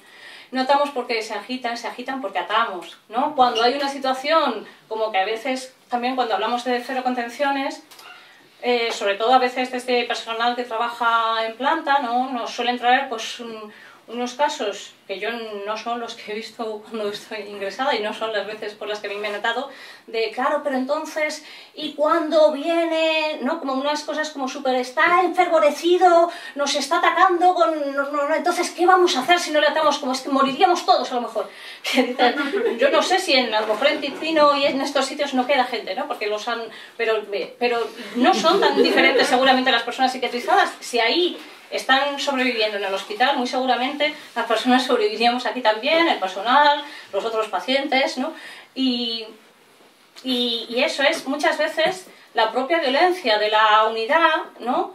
Eh, primero, saber que es un recurso fácil, es un recurso tan fácil que lo que decías tú hoy cuando hablabas con, una, eh, con esta muchacha del periódico este, que, que, es un recurso que a veces está la, la, correa en la cama ya para que no tarde mucho, o sea, o, o, siempre, o, o, a veces, ¿no? A mí me acuerdo uno de, los, de, las, de los ingresos que como me habían tenido que estar como dos veces, pues no sé, los, vamos, me habían tenido que estar, ya mucho mismo uso su lenguaje perverso. pero cuando me, me, habían atado en dos, pues en la, no sé, a lo mejor en la misma semana, dos veces o, o en los mismos, no sé, no recuerdo los días, me dijeron, ya te la vamos a dejar porque es que nos das mucho lío. Eh, no te, entonces te dejaban como la correa en, en, la cama, que ahí en esa unidad no la tienen todas, la correa debajo tú dormías sobre, digamos, la correa con el este de, de claro, si la lío, si me porto mal, que me portarse mal era también, por ejemplo, levantarse demasiadas veces al baño por la noche, porque por la noche eh, hay que dormir y así está la, ¿no? de cumplir las normas, por la noche duermes y duermes, y si te estás levantando todo el rato, pues igual, a la, o si quieres pasear, es que no se puede pasear por el pasillo por la noche, trastocaría toda la unidad. Entonces, eh, por favor, quédate en la cama. Y si estás agobiada, también. Y si lo que sea. Entonces, eso, como la perversidad también, eso, estás ya como encima de la correa, ya como te lo presente, que, que se nota, la verdad, que, o sea, que estás durmiendo como encima de un algo, ¿no? Que no la tengas apretándote, digamos. Entonces, bueno, eso, que, que muchas veces cuando hablan de tensiones que surgen en las unidades, es que una unidad que parte de tantas violencias que te están haciendo a ti, es, es, es, es a veces es... Eh, o sea, la violencia que pueda haber o las tensiones que puedan surgir, igual algunas son autodefensa, igual algunas son generadas por la propia tensión que ya está en, esa unidad. Igual tú estás oyendo al otro compañero que está atado y que, y que lleva horas gritando desde su habitación, ¿no? Eso no, igual no genera un espacio de calma, recuperación y tranquilidad. En Rávena, eh, una que a mí me parecía esto súper interesante, una de las cosas que hicieron para eliminar las condiciones fue quitar las cámaras de seguridad. Eh, que claro, es como contraintuitivo, porque una de las cosas que te dicen es que por tu seguridad, entonces eh, claro, una de las cosas que, por ejemplo, el Comité de Prevención de la Tortura dice, el Comité Europeo de Prevención de la Tortura, es que eh, eh, si, te, si, alguien, si te atan, tienes que una persona del person, un persona del staff, del, un trabajador, debería estar contigo todo el rato y que en ningún momento las cámaras de videovigilancia sustituyen la presencia física, ¿no? Pero es como frecuente que eh, en las unidades pues te pongan te aten y te pongan una cámara para que tú, para estar tú viendo a la persona que está atada eh, bueno pues por si hay algún riesgo. Entonces bueno eh, es interesante no la gente de Ravena dice quitamos las cámaras porque nos dimos cuenta de que el que está mirando la cámara puede estar, si en vez de mirar la cámara está trabajando con la gente, pues pues mejor, ¿no? Que este, o sea, eso sí que es un, o sea, eso, es estar con la gente y no estar mirando por una cámara. Eh, otras como cosas comunes que se han hecho en lugares donde se han eliminado las contenciones es monitorizar y auditar, eh, que haya un registro de contenciones, que es una de las cosas que nosotros pedimos, que haya un registro de contenciones que sea público para que se pueda ver, y de hecho, por ejemplo, el trabajo que se hizo en Pensilvania, en Pensilvania llevan como desde los años 90 haciendo este trabajo, no es una cosa que haya sido ahora, pero es muy interesante el trabajo de Pensilvania porque está muy bien eh, documentado y de hecho tú te puedes meter en las webs del subsistema de salud y descargar los informes que ellos tienen del número de contenciones que se han hecho, pero no solamente el número de contenciones, que son cero, el número de contenciones físicas, de contenciones químicas, de la medicación, yo no sé si tú vienes de recursos, o sea, no sé si lo preguntas porque conoces los servicios como profesional, pero a veces se hace una, una cosa que se llama medicación si precisa, que es que el, el psiquiatra pauta medicación que tú puedes, eh, tú, quiero decir, yo por ejemplo como enfermera, puedo recurrir a ella si lo considero necesario. Yo, eh, es una medicación que se llama de rescate, entonces, eh, pues es como, bueno, a, a, veces esto también se hace con las contenciones. Yo, por ejemplo, donde trabajaba, se ponía, el psiquiatra ponía si agitación, condición mecánica, ¿no? Y él, él, ni siquiera valoraba, bueno, y eso pasa en muchos sitios, se ata y entonces tú llamas al psiquiatra para que venga a firmarte la contención. Eh, pues esta medicación de rescate se eliminó, eh, o sea, hay como muchas cosas que se registran, el número de agresiones al personal, el número de agresiones entre pacientes, y todo esto es un documento mensual que se publica en la web y, y, y se utiliza o sea, es muy importante y para mí creo que esto, por eso hablamos del lenguaje, creo que es algo fundamental. Eh, en 2013 me parece que fue en Madrid, la Consejería eh, de Madrid, o sea, mientras que el relator está hablando de que la contención mecánica es tortura, la Consejería de Madrid manda a circular a sus trabajadores diciéndonos que, que, no, que nos recomienda no llamar a la contención mecánica contención mecánica porque solamente hace referencia a los aspectos coercitivos de la medida y que nos recomienda llamarla inmovilización terapéutica.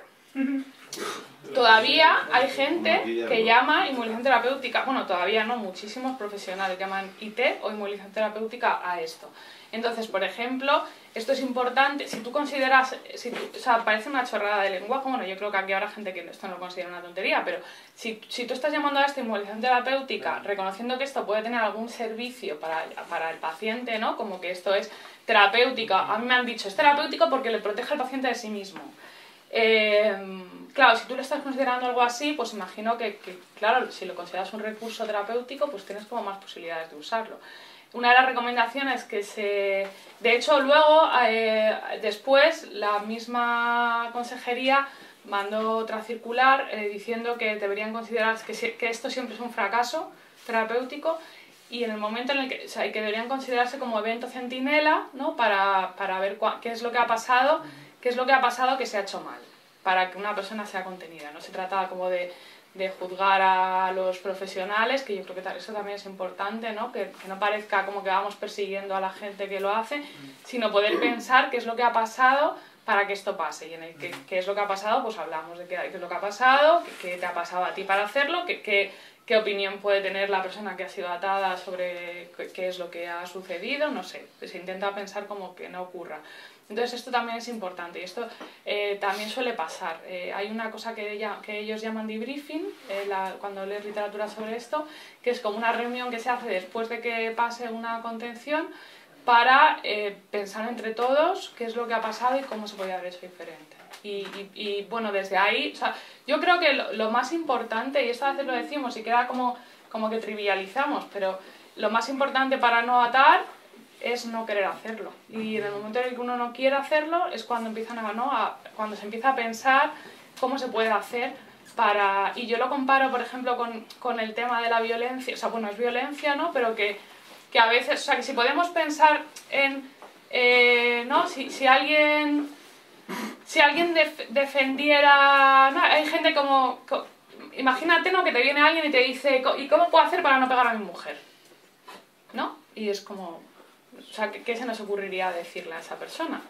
Entonces, lo digo porque es que a veces parece que, que está, o sea, esto si lo consideramos violencia contra las personas y lo consideramos algo inadmisible, pues es ahí cuando podemos pensar, a ver, tío, ¿por qué estás pegando a tu mujer? O sea, ¿no? Que, el problema lo tienes tú, no lo tiene tu mujer, no es que tu mujer esté haciendo algo...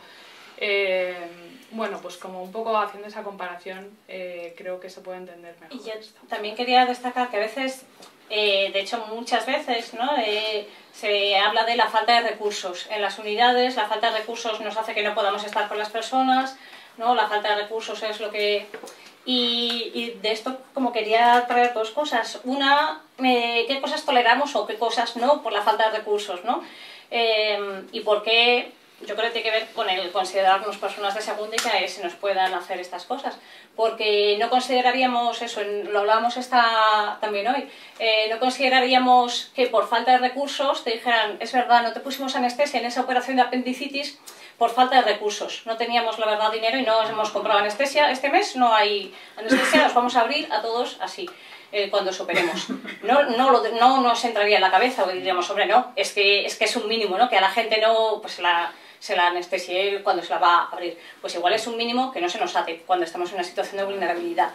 Y, y luego además que ni siquiera eh, uno de los testimonios que tenemos en, en, la web de Cero Contenciones, y yo creo que es el único que en vez de ser sobre una contención es sobre como una no contención, digamos, es una compañera que cuenta en su testimonio que ella no ha ingresado en España, aunque porque estuvo un tiempo viviendo en Argentina y es donde ingresó, Em, y que en Argentina estaba en un hospital que en ese momento eh, no tenía recursos a nivel, eh, eran las familias las que llevaban el papel higiénico o cosas como básicas de higiene, eh, pero no se ataba a la gente porque se hacían otras cosas. Y se hacía, por ejemplo, que no había un horario de visitas de 5 a 8 como puede haber aquí en muchas unidades, sino que tanto Mm, familiares como vínculos afectivos, como personas voluntarias, eh, podían ir a visitar el hospital para estar acompañando a las personas que estuvieran ingresadas.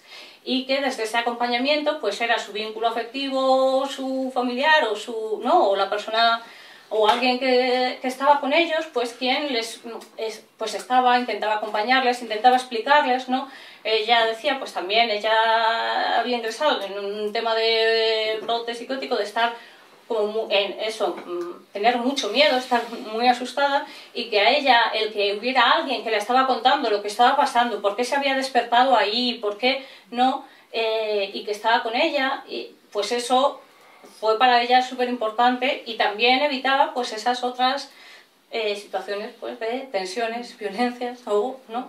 y no había recursos, no había un montón de recursos ni para personal, porque no es que estuviera el personal, estaban sus vínculos, o eso, o gente que quería acompañar porque hacía voluntariados o lo que... Y, y estaba...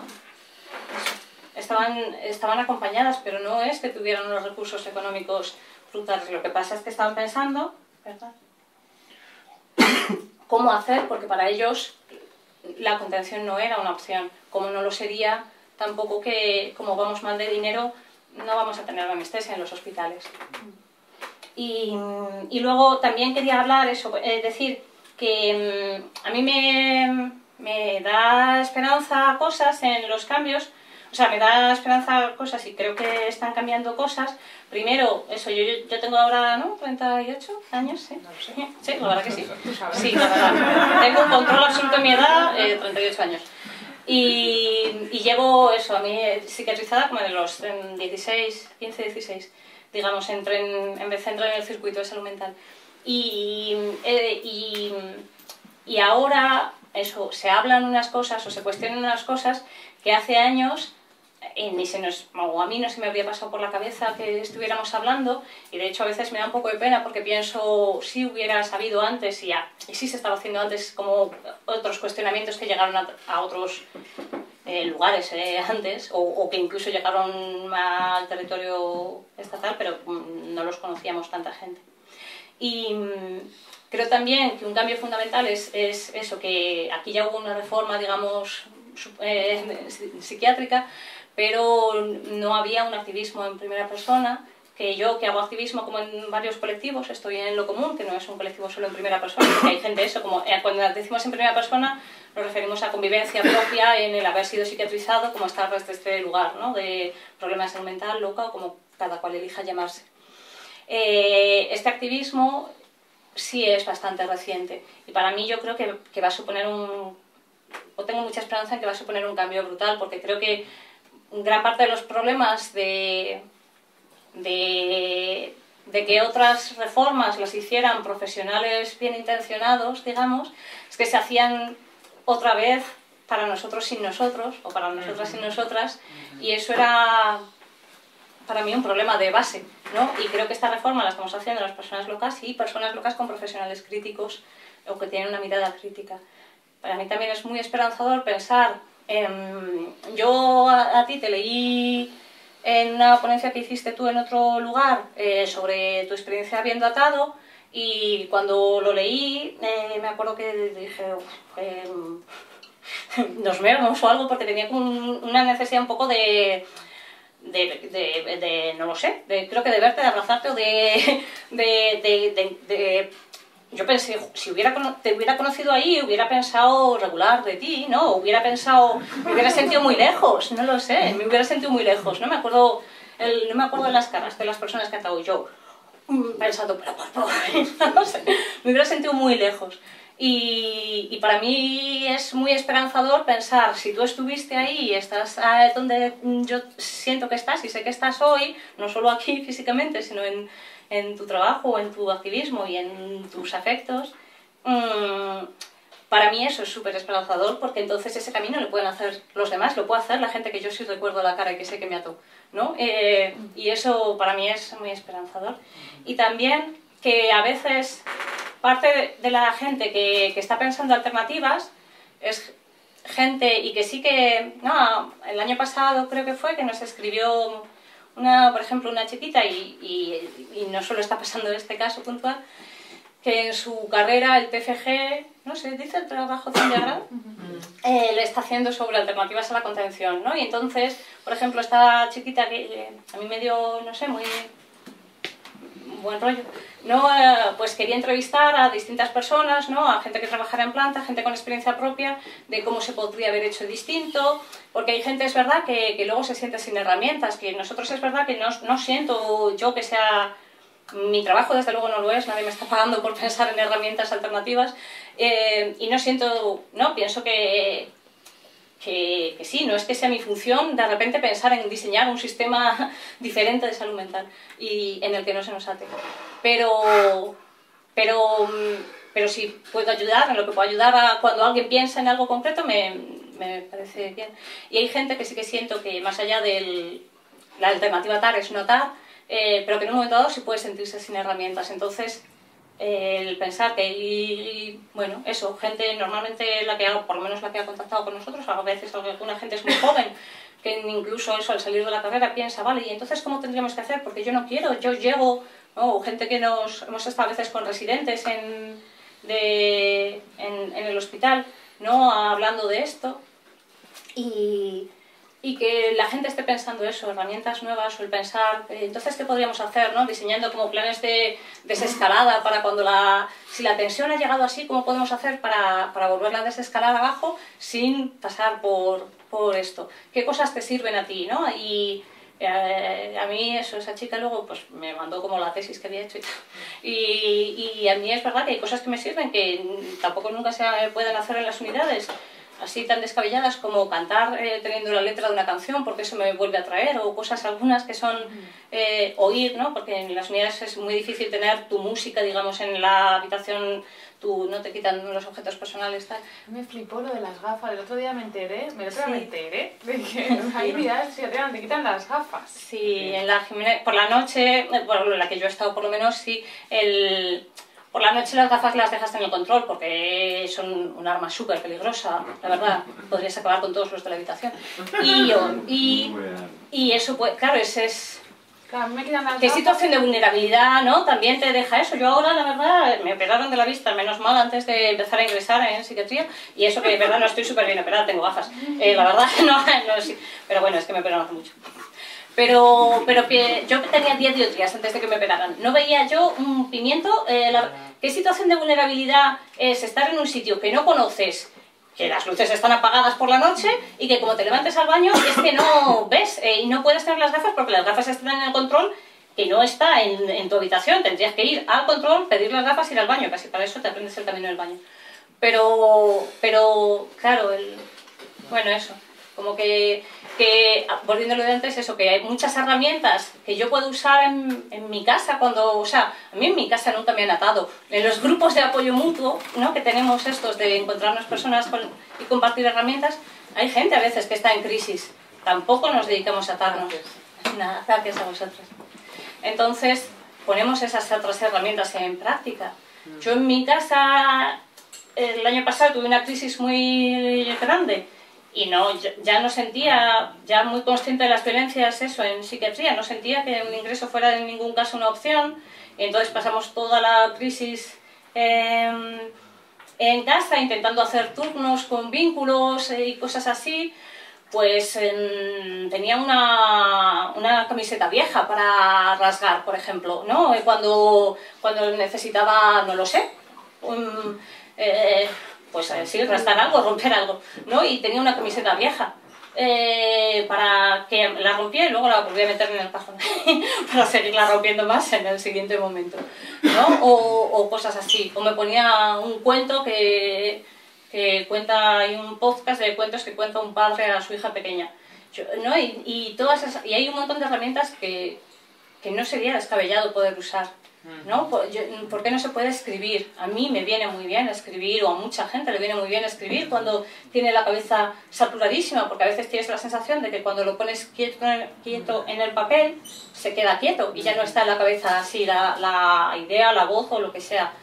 Eh, pero mm, no se puede escribir a todas horas, no sé, a veces hay que tener un permiso ¿no? de papel y lápiz en algunas unidades. Sí, hay, unidades que, que, tienes que tener un permiso de papel y boli firmado por el psiquiatra para poder usar un papel y un Eh, no te puedes duchar por la tarde, por ejemplo, ¿no? En la unidad de psiquiatría hay un horario de ducha y, tú, y, fuera de ese horario no te puedes duchar. Y tampoco te puedes no duchar. Porque, que, claro, que, si dices que no te duchas, eso es un lío un día, que a lo mejor alguien, no lo sé, alguna vez no se duchó un día y tampoco se cayó el mundo, pero en la unidad sí. Y luego también es curioso cómo las normas en las unidades parecen todas irrenunciables a un nivel eso de si no la cumples hay como una situación tan tensa que a lo mejor acaba atada, pero luego las normas de tu unidad son diferentes de la unidad del barrio de al lado o del hospital de al lado. Y dices, tan irrenunciable, igual no era, porque mm, el, hospital de al lado, mm, eh, eso, sí se podía, ¿no? Eh, pero bueno, eh, esto no sé, no sé, si queréis preguntarme. Yo por un lado es para sacar un tema que está relacionado con el nombre de, vuestro colectivo, ¿no? Como, el trabajo comunitario y demás, ¿no? por un lado me pregunto, en los centros de día de salud mental, cuando se habla de trabajo comunitario, una vez que ya has pasado pues, el tema, digamos, el condicionamiento biopsico, que sería como pues, la identificación con la enfermedad, eh, la adhesión al tratamiento, y la infantilización de todos los talleres o de algunos de esos talleres, ¿no? No, no entiendo cuando, cuando hablan de trabajo comunitario o de inserción a una comunidad porque no, no existe. ¿Qué comunidad? Por una parte eso no lo entiendo. Y por otra parte, como leyendo el libro de Thomas Ignay, ¿no? leyendo pues algunas de las estrategias técnicas concretas, los ejemplos de, pues, de cosas puntuales que le servía a la gente, por un lado, digo, pues hay algunas que me parecen como súper complicadas si el contexto que tienes alrededor, ¿no? que sería la comunidad, que no veo en, en ningún lado, que es el hecho de, pues por ejemplo, ¿no? pues una persona que vive atemorizada porque sale a la calle y tiene miedo a que se le caigan las macetas de la terraza o, cualquier cosa del diario, pues el decidir un día ponerse un casco ¿no? para sentirse más segura, eso o sea, puede ser muy útil y puede, pero no, no creo que dependa solo de que un día pues, se levante motivada y lo haga, sino de que pues, salga a la calle y haya por lo menos alguien que le conozca que eso pues, lo pueda afectar, ¿no? entonces me preguntaba si, no sé si en el libro se me escapó porque retengo haciendo, pero, pero si Thomas United o su, ¿no? su pues el entorno más cercano de gente que también escribe sobre esto o o saca teoría a partir de la práctica, pues si habla también del tema del trabajo comunitario y demás, porque entiendo que los grupos de apoyo es más fácil que, que en algún grupo de apoyo entre alguien que, aparte de haber sido psiquiatrizada, tenga cierto contacto no puntual con el activismo o con grupos, pero me imagino que es más difícil encontrar o sacar la iniciativa de hacer un grupo de apoyo ¿no? sin, sin esos círculos, esos ratos. Entonces, si hablan de, ese tema, ¿no?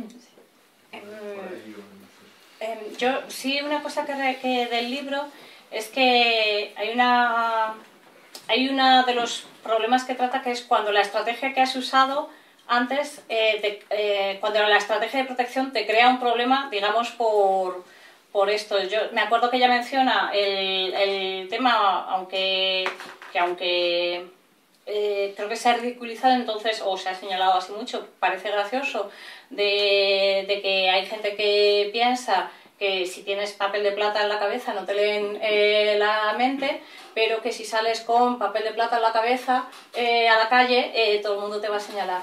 Entonces ella sí que hay una parte de la, por ejemplo, que cuenta, ¿y qué pasa si la estrategia que tú usabas te crea un nuevo problema, distinto a lo mejor, ya no me leen la mente, pero ahora me señalan o se ríen o lo que sea, ¿no? Y eh, eso como que, que, ella habla ahí de buscar, que entonces tendrías un nuevo problema buscar una... En, en, concreto ella decía, por ejemplo, con esto concreto, que hay gente que lleva papel de plata y una gorra, un papel de plata y un, ¿no? y un tal, porque entonces ya no se sabe que debajo tiene, digamos, como para lo que es el, el problema concreto que te ha creado tu estrategia de solución, aunque sea temporal.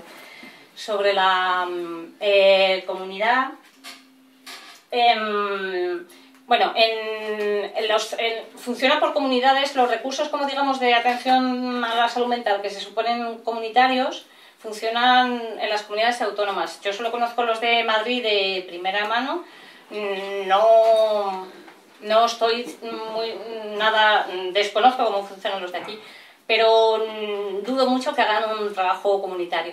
Eh, o los de Madrid no lo hacen. Hay un discurso, y de hecho hay un discurso de que se hace salud mental comunitaria que creo que no es real y que a lo más que llega es a que los recursos a los que vayan estén en tu barrio. ¿no? en Madrid pasa eso, se considera que son comunitarios porque el centro de rehabilitación laboral o el centro de día o el centro de rehabilitación psicosocial eh, están eh, en el barrio a lo mejor en el que vives, si acaso, y entonces de repente se ha hecho un trabajo comunitario que pocas veces es tal. Tenemos una compañera que le llaman los minicomios, como que hemos pasado del manicomio a los minicomios, pero que al final es como la misma filosofía de la institución total, de, que, que es como que al final acabas eh, relacionándote todo el rato eh, como en el gueto, ¿no? Como eh, comes ahí, ¿no? Tus, tu, la, la, red social, es como que toda tu vida pasa por, por la institución, eh, aunque estés en el barrio. Y, y para mí, mmm, bueno, primero sí que yo en esto lo, no, lo pienso tanto desde lo común, porque lo común, o yo diferencio bastante como el, trabajo de apoyo mutuo que el activista, ¿no? Entonces, el trabajo de apoyo mutuo lo hago más en mi colectivo, digamos, en primera persona, y el activista también lo hago en el otro, pero quiero decir, el, mi, lo común no tiene grupos de apoyo mutuo, eh, no, no, no, no es un grupo de apoyo mutuo. Eh, y eso sí lo tienen otro tipo de colectivos. Eh, ahí, yo sí diría, hay un perfil muy diferente. O sea, creo que desde luego hay gente a la que no llegamos, pero una dificultad, de hecho, a veces de los colectivos en primera persona es que hay gente bastante heterogénea, ¿no? que no, no necesariamente viene de, ni de estar politizada ni de haber participado antes en espacios colectivos, también creo que cuando eso pasa más, cuando el colectivo está más asentado, porque por ejemplo en Cataluña, que a lo mejor es el que es uno de los que la asociación es más grande activamente, tiene, tiene muchos GAMS, lleva años trabajando, tiene también, ha hecho como un proceso de trabajar en algunas cosas con las instituciones. Entonces, por ejemplo, en Activamente en Cataluña si les, eh, los propios profesionales muchas veces informan de la existencia de GAMS, si les dejan poner carteles en los centros de salud mental diciendo dónde está la entidad eh, que tiene grupos de apoyo mutuo, etc. Y a nosotras, por ejemplo, mi colectivo en Madrid no nos han dejado eso prácticamente nadie, aunque sí hay profesionales que sí empiezan a informar o nos informamos unos a otros. Eh, pero desde luego hay gente a la que no llegamos. Y, y luego eh, a mí, cuando por ejemplo contaba esto de vivir la crisis que he vivido este, el año pasado, ocho meses, seis, siete, ocho meses, la verdad, gordísima para mí y para mi entorno.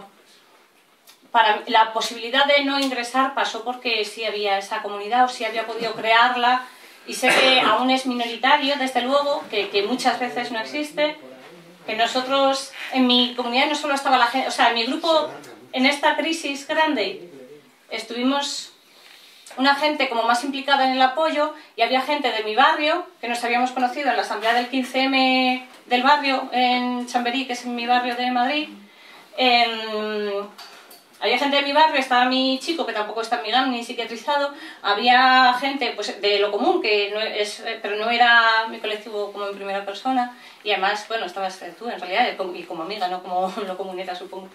Eh, había alguna profesión, esta, esta, psiquiatra de la que hemos hablado antes estaba como eh, también en los, pues eso, algunas noches quedándose a dormir o, y creo, bueno, creo que es necesario que, claro, es necesario, creo que, que, es, que es verdad que sin comunidad no vamos a poder, pero creo que no vamos a poder en general eh, sobrevivir, no solo las personas psiquiatrizadas, ¿no?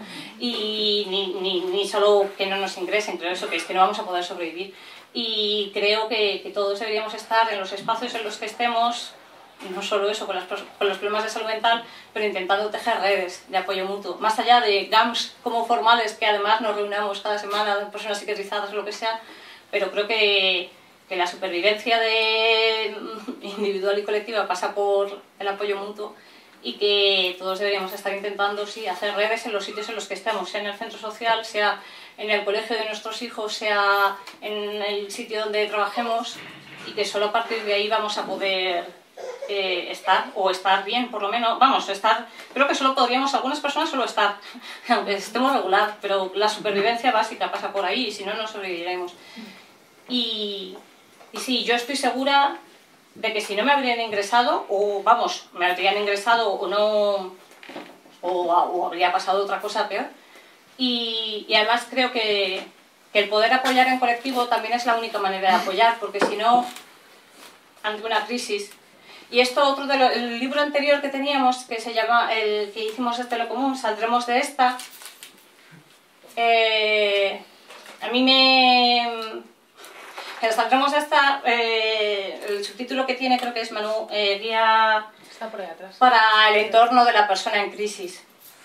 Y, y de lo que habla es, es, si alguien de tu entorno está en crisis, cómo podrías apoyarle o cómo de una manera eh, no invasiva, digamos, no desde el autoritarismo, sino desde el respeto a también sus decisiones.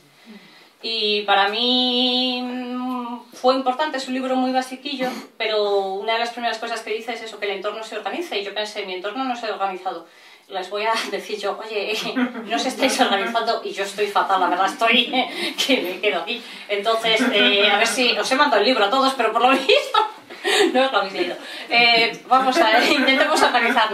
Y entonces, creo que eso fue básico porque además creo que muchos ingresos o muchas decisiones invasivas vienen desde la, la sobreresponsabilización de una persona, de que cuando tú te sientes solo a cargo a lo mejor de que depende de ti lo que le pase al otro, ¿no? a un nivel de que se están jugando supervivencias o cosas muy gordas, desde ahí te sientes instado a, a eso, a tomar medidas más coercitivas. Y creo que, por ejemplo, en mi caso, el sentir que la responsabilidad del cuidado también que yo en ese momento no estaba pudiendo ejercer, estaba compartida en un grupo grande, o más o menos grande, eh, ayudó. Sí, para mí es muy importante esto que dices, además creo que... Eh, Ay, sería fenomenal porque me he bebido mi vaso, el de Ana, que no sé si quería agua en este momento. Déjamelo porque no hay otro. Eh, es importante esto que dices, eh, bueno, por, todo lo que dice Marta, también tenemos un compañero que también dice esto de, ¿no? ¿A qué sociedad queréis que me, a qué comunidad queréis que me integre? Eh, y también porque eh, desde la convención que hablábamos antes y un poco lo que propone la ONU, desde la concepción de la persona con diversidad psíquica, si lo queremos llamar así, como eh, la, la, ONU utiliza el término discapacidad psicosocial para referirse a las personas con, con problemas de salud mental y entiende la discapacidad eh, no como algo que le pasa solo al sujeto, sino como un, eh, una confluencia entre la dificultad de la persona y eh, la dificultad de la sociedad de, de, de adaptarse, a, de adaptarse a esas necesidades. ¿no? Y el, un ejemplo claro que podemos tener es el de una persona que tiene una lesión medular y necesita una silla de ruedas. Eh, no, no, solamente está ese problema, sino que para que la persona esté en la sociedad tenemos que eh, adaptar eh, la sociedad a, y, y, hacer que la persona viva. entonces me, me gusta mucho esta propuesta y esta como manera de entenderlo porque mm, Claro, eh, me, me, me, parece muy interesante pensar que el problema no, no, está solamente en eso, ¿no? Si cuando un niño, si consideramos, por ejemplo, ¿no? Lo que dice la red escucha de voces, es que del 4 al 8%, eh, del 4% de los adultos escuchan voces, hasta eh, en los niños es un porcentaje bastante más grande. Si un niño dice que escucha voces y de repente la respuesta del entorno es flipar, y, ¿no? y llevarla al psiquiatra y asustarse, ¿no? Y, y, el niño está recibiendo esta cosa de que le pasa algo gravísimo. Eh, no pongo este ejemplo así como una cosa un poco, pero bueno, que, que puede ser, o si, un, si una persona se está autolesionando, se está cortando y de repente la respuesta del entorno es, pues es asustarte, no puedes hacer esto, ¿no? Esto es una, esto es una cosa inadmisible. Eh, me, me, parece como, como muy importante esto, ¿no? A poder decir, bueno, pues a lo mejor esto que estás haciendo es una manera que tienes ahora mismo de, de estar controlando eh, la ansiedad o estar resolviendo esto, vamos a intentar pensar en otra manera, eh, o, o, no, o no, pensaba en Drayton Park, donde, que es una unidad de atención a mujeres, donde cuando no hay otro remedio que las mujeres consideran que cortarse con cuchillas, pues desde allí les proporcionan cuchillas limpias, intentan que la que, la, que, que, esto, que esto a veces puede sonar como muy así, pero, pero que al final si lo vas a hacer, ¿no? Pues vamos a darte las condiciones para que lo hagas en... y luego ya podemos pensar de qué otra manera podías haberlo hecho o, así, ¿no? Y que además en Brighton, sí. perdón por interrumpir, no. pero que, que, esto no quiere decir, porque parece que entonces estarán todas eh, cortándose día y noche, y no quiere decir, lo que quiere decir es que igual cuando están ahí, que son mujeres también, es una casa de crisis, para eh, lo que quiere decir es que si no encuentran otra alternativa, pueden pedir la cuchilla. Y, y, que pasa puntualmente además y que luego se analiza, pues como decíamos, como ¿no? el que ha pasado, que se pudo, ¿no? Eh, te encontrabas, ¿no?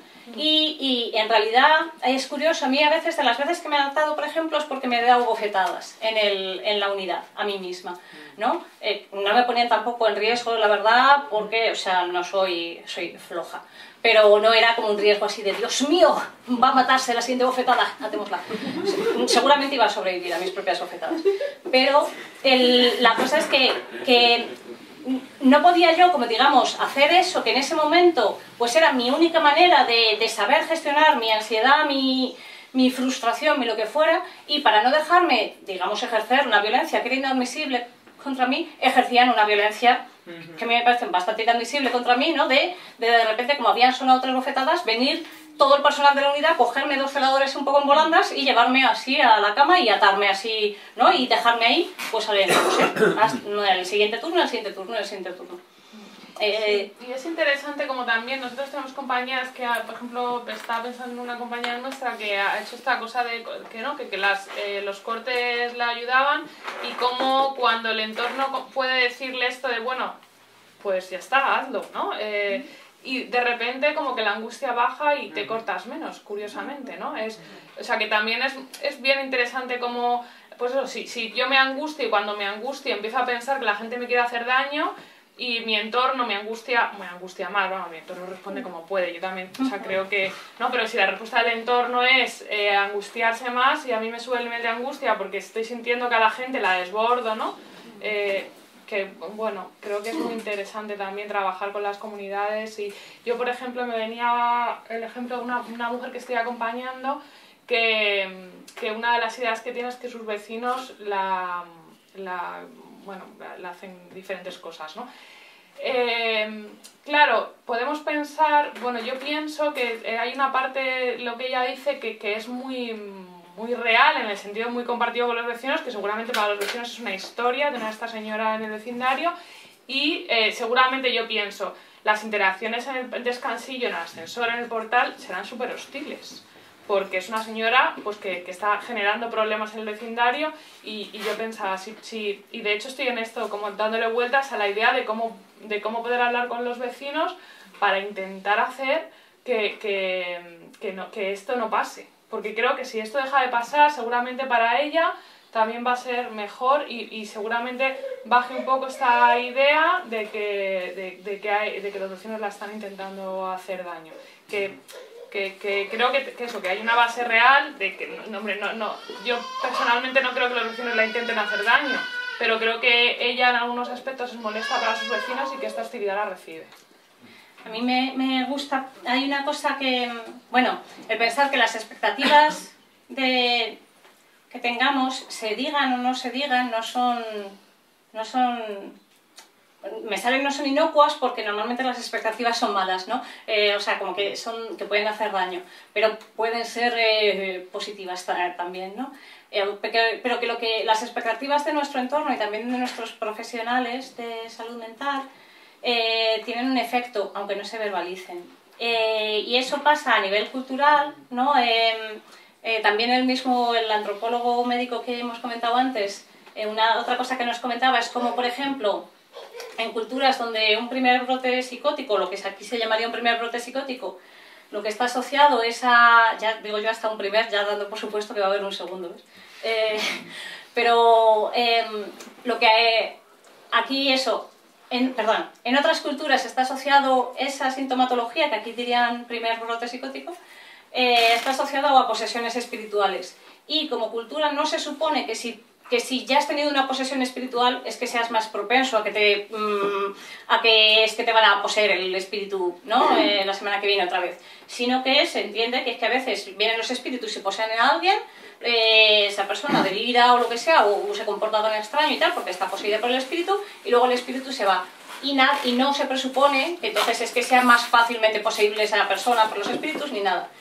Y aquí, cuando tienes un brote psicótico, sí se presupone que hay una alarma a ver si tienes un segundo, porque si tuvieras un segundo ya igual no es solo un brote, sino que ya es una esquizofrenia con todas las de la ley, no sé qué tal, tal. Y además la esquizofrenia es crónica, cada brote se supone que te va a deteriorar neurológicamente, etcétera, etcétera. Mm, igual, ¿no? Aunque está también demostrado el daño que hacen los antipsicóticos, igual tiene algo que ver eso en el deterioro. Y bueno, el caso. Eh, luego, las estadísticas sí que dicen que aquí, efectivamente, cuando hay más porcentaje, digamos, de recaídas o de brotes que se repiten, que en las culturas donde está asociado a que, a que es que, bueno, tuvo uno y ya está, le poseyó un espíritu y no volvió. Eh, y yo creo, o que habrá más factores, pero a mí me parece que, que, el, todo, el entorno estuviera alerta esperando, aquí está alerta esperando a ver si hay un segundo, no, o está alerta, o está preocupado, o está tal, y tú también lo estás porque ya te lo han dicho. Eh, y que en otra cultura no, pues eh, tiene un efecto. Igual que, que los profesionales aquí muchas veces no den un duro por sus pacientes y piensen que, que, tú sí puedes estar ahí hablando, aunque hables un poco desordenado, pero mis pacientes no podrían, porque mis pacientes están fatal, porque ellos es que no, ¿no? Y que tú vayas así a trabajar con tus pacientes, aunque no se lo digas, aunque le digas, si no, doy un duro por ti, pero eso tiene un efecto. Lo que lo piense tu familia, o que lo piensen, mm, ¿no? Y, y, y, sí que creo eso, que, que, la, bueno, no sé, que a estos actos no solo viene, bueno, a estos actos, a estas charlas, creo que yo necesito igual estar esperanzada porque igual depende de eso también mi motivación vital o mi sentir que podré tener una vida más o menos fácil o no. Y, y yo creo que, que yo no tengo la comunidad ahora que tenía hace años.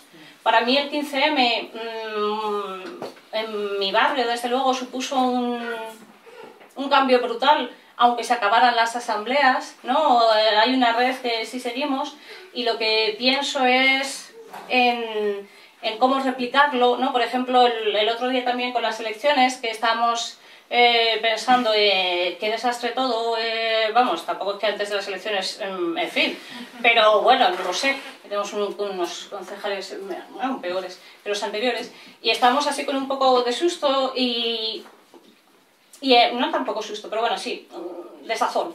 Y, y en mi barrio pensábamos que hay gente que nos sentimos seguras, ¿no? O que, o que hay gente que los alquileres no dependen del precio del mercado porque hay alguien que a lo mejor tiene una casa y se la ha dejado a lo que puede, o cosas así. Y pensábamos que tenemos una red de apoyo fuerte en el barrio, más allá del GAMO, más allá de todo esto, y que muchas de las cosas que estamos haciendo se pueden hacer la gente a veces no lo está haciendo porque no lo sabe, o sea, porque no ha caído, o porque no, no ha caído en hablar con los vecinos, no sé, yo el otro día, esta semana he puesto un cartel, eh, entonces ya una, así como anécdota absurda, por si no tenemos prisa, pero eh, pues puse un cartel de, en el tablón de anuncios de nuestra, vamos, el tablón de anuncios, no sé si se llama, es un tablón como que hay que anunciar las reuniones de la comunidad y cosas así, puse una hojilla que puse, eh, queremos hablar los vecinos eh, eh, entre nosotros y nosotras. yo puedo prestar libros, porque es verdad, tengo igual más libros de los que puedo leer, y, pero y me gustaría que me cuidaran al gato, o sea, y necesito ayuda para cuidar al gato y no sé qué. Y, y luego, bueno, puse, ¿os apetece? Y puse así como guiones, como si le fuera a apetecer a la gente. Y, pero luego eh, puso, sí, es verdad que no tengo estas expectativas, eso no es inocuo. Pero el del primero exterior izquierda 2, eh, igual he dado demasiado datos, pero no he dicho el portal, y voy a intentar no decirlo así, en un control total de mis eh, discursos. Pues ese puso el primero exterior izquierda 2, y dije, ¡uh, qué bien! Entonces luego puse yo mi propio piso, porque no te creas que lo había puesto, que había puesto, queremos hablar entre los vecinos, pero no había puesto quién había dejado el mensaje. Entonces luego puse yo como segunda vecina así interesada en mi propio... Propia. Pero bueno, que sí que creo que, que creo que buscar maneras eh, creativas o estrafalarias de crear red es lo que nos va a hacer la vida más fácil.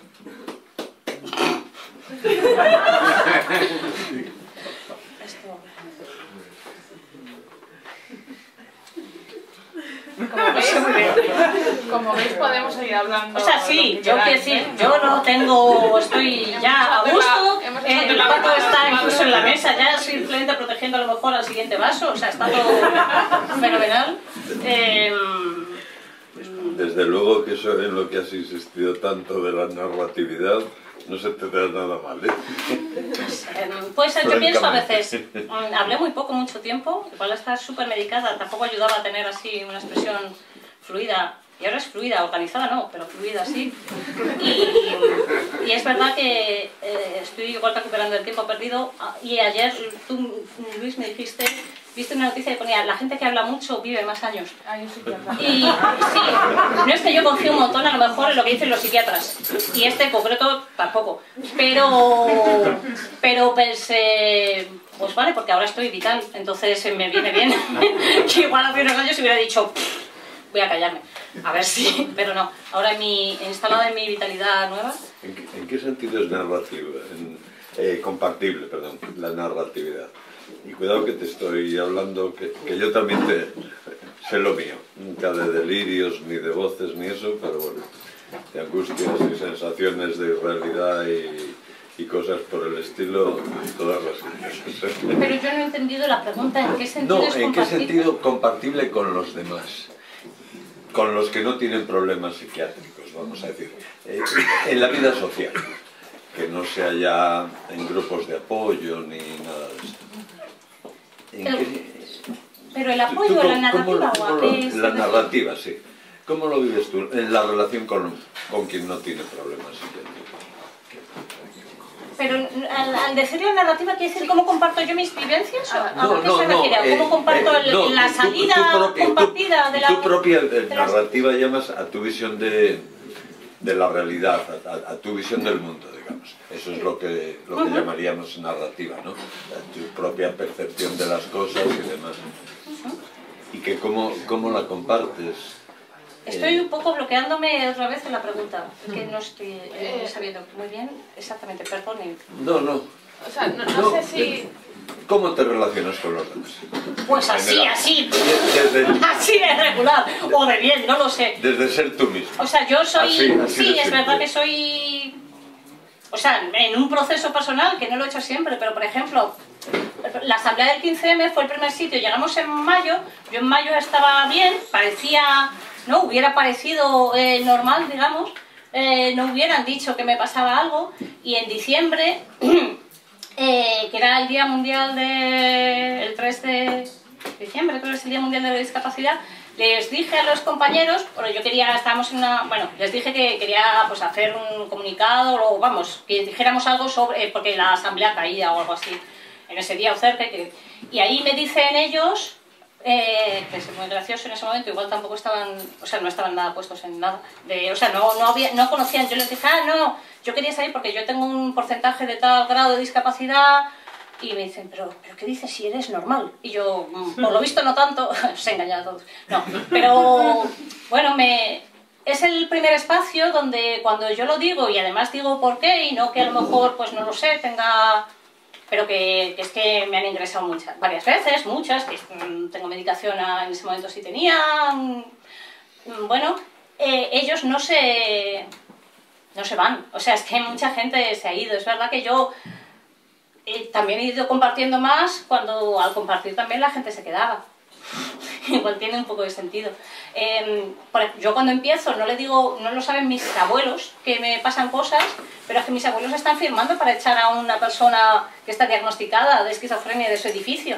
Y está mi abuela diciéndome, a ver si se va ya este loco del... del ¿no? Que no me quiere cruzar en el ascensor y están haciendo una recogida de firmas para ver si se va. Entonces, igual ahí es distinto lo que compartes o lo que muestras, ¿no? Eh, eh, sí, la gente está intentando eh, que, se- a ver si se va el vecino loco de su edificio, que si cuando lo dicen, bueno, pues lo que tienes es un, ah, pues parecías normal desde el desconocimiento y no desde la voluntad de hacer daño, y luego al año siguiente, por ejemplo, yo creo que ya tengo un ingreso, esta es la primera gente que va a verme al hospital.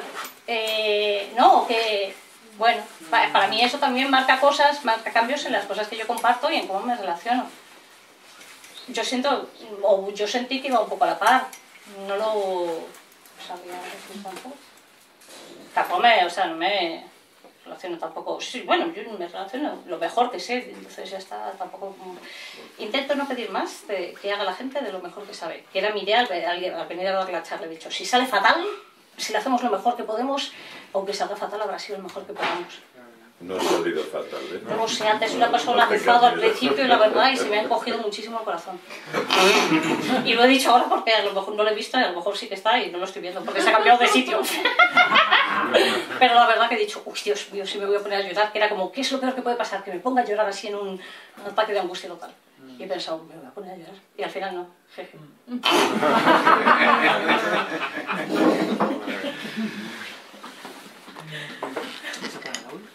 Ah, bueno. El eh, audio, igual ya no lo sé, ¿no? Porque da un poco, es súper triste, pero está, no, está en los sí, yo creo que ya no... eh, Vamos a poner una canción de Estela, por ejemplo, si quisieras. Pero eh, Una canción sería una maravilla. Yo voy a buscarla por si acaso. Que hay una compañera de mi grupo de apoyo mutuo que toca y mm, no soy su manager encubierta, pero me gustaría serlo.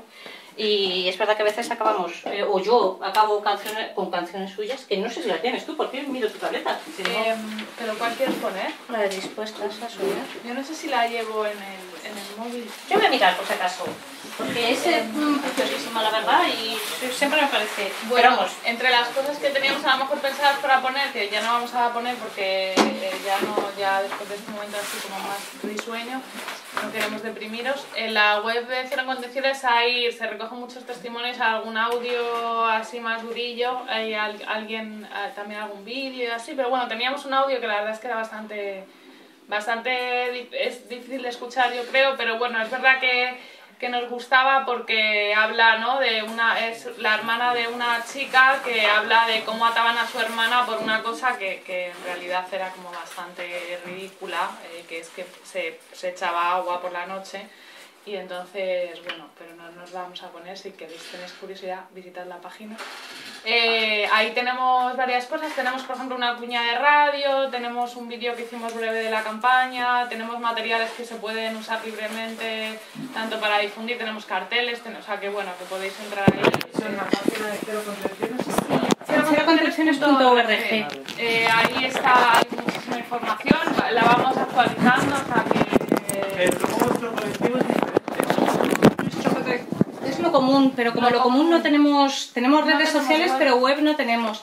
Gestionamos varias Ah, webs, vale, vale. gestionamos Primera Vocal, eh, un- es un, como un proyecto del colectivo. Eh, de hecho, los otros dos libros anteriores, el de Saldremos de esta y el de Escritos contrapsicológicos de un educador social, que es el primero que se editó, que editamos, eh, esos no venían como, como por lo común, sino como por Primera Primera, Vocal. Y, y la Biblioteca Social Hermano Esquero. Y tenemos eso, la web de primeravocal.org, otra que es Madin America, sí, es más para ponerlo en Google igual, eh, porque creo que tiene un guion en medio. En, Sí, Madina América Hispanohablante. Sí, Madin América hispanohablante, porque hay una versión de Madin América eh, en habla inglesa. Y, eh, y luego eso, la de cero contenciones, pero como lo común no tenemos web. No, y nos negamos porque tenemos muchas ya. Es que claro, hay demasiadas webs igual que gestionar, entonces no estamos gestionando además lo de lo común, y, pero gestionamos las redes.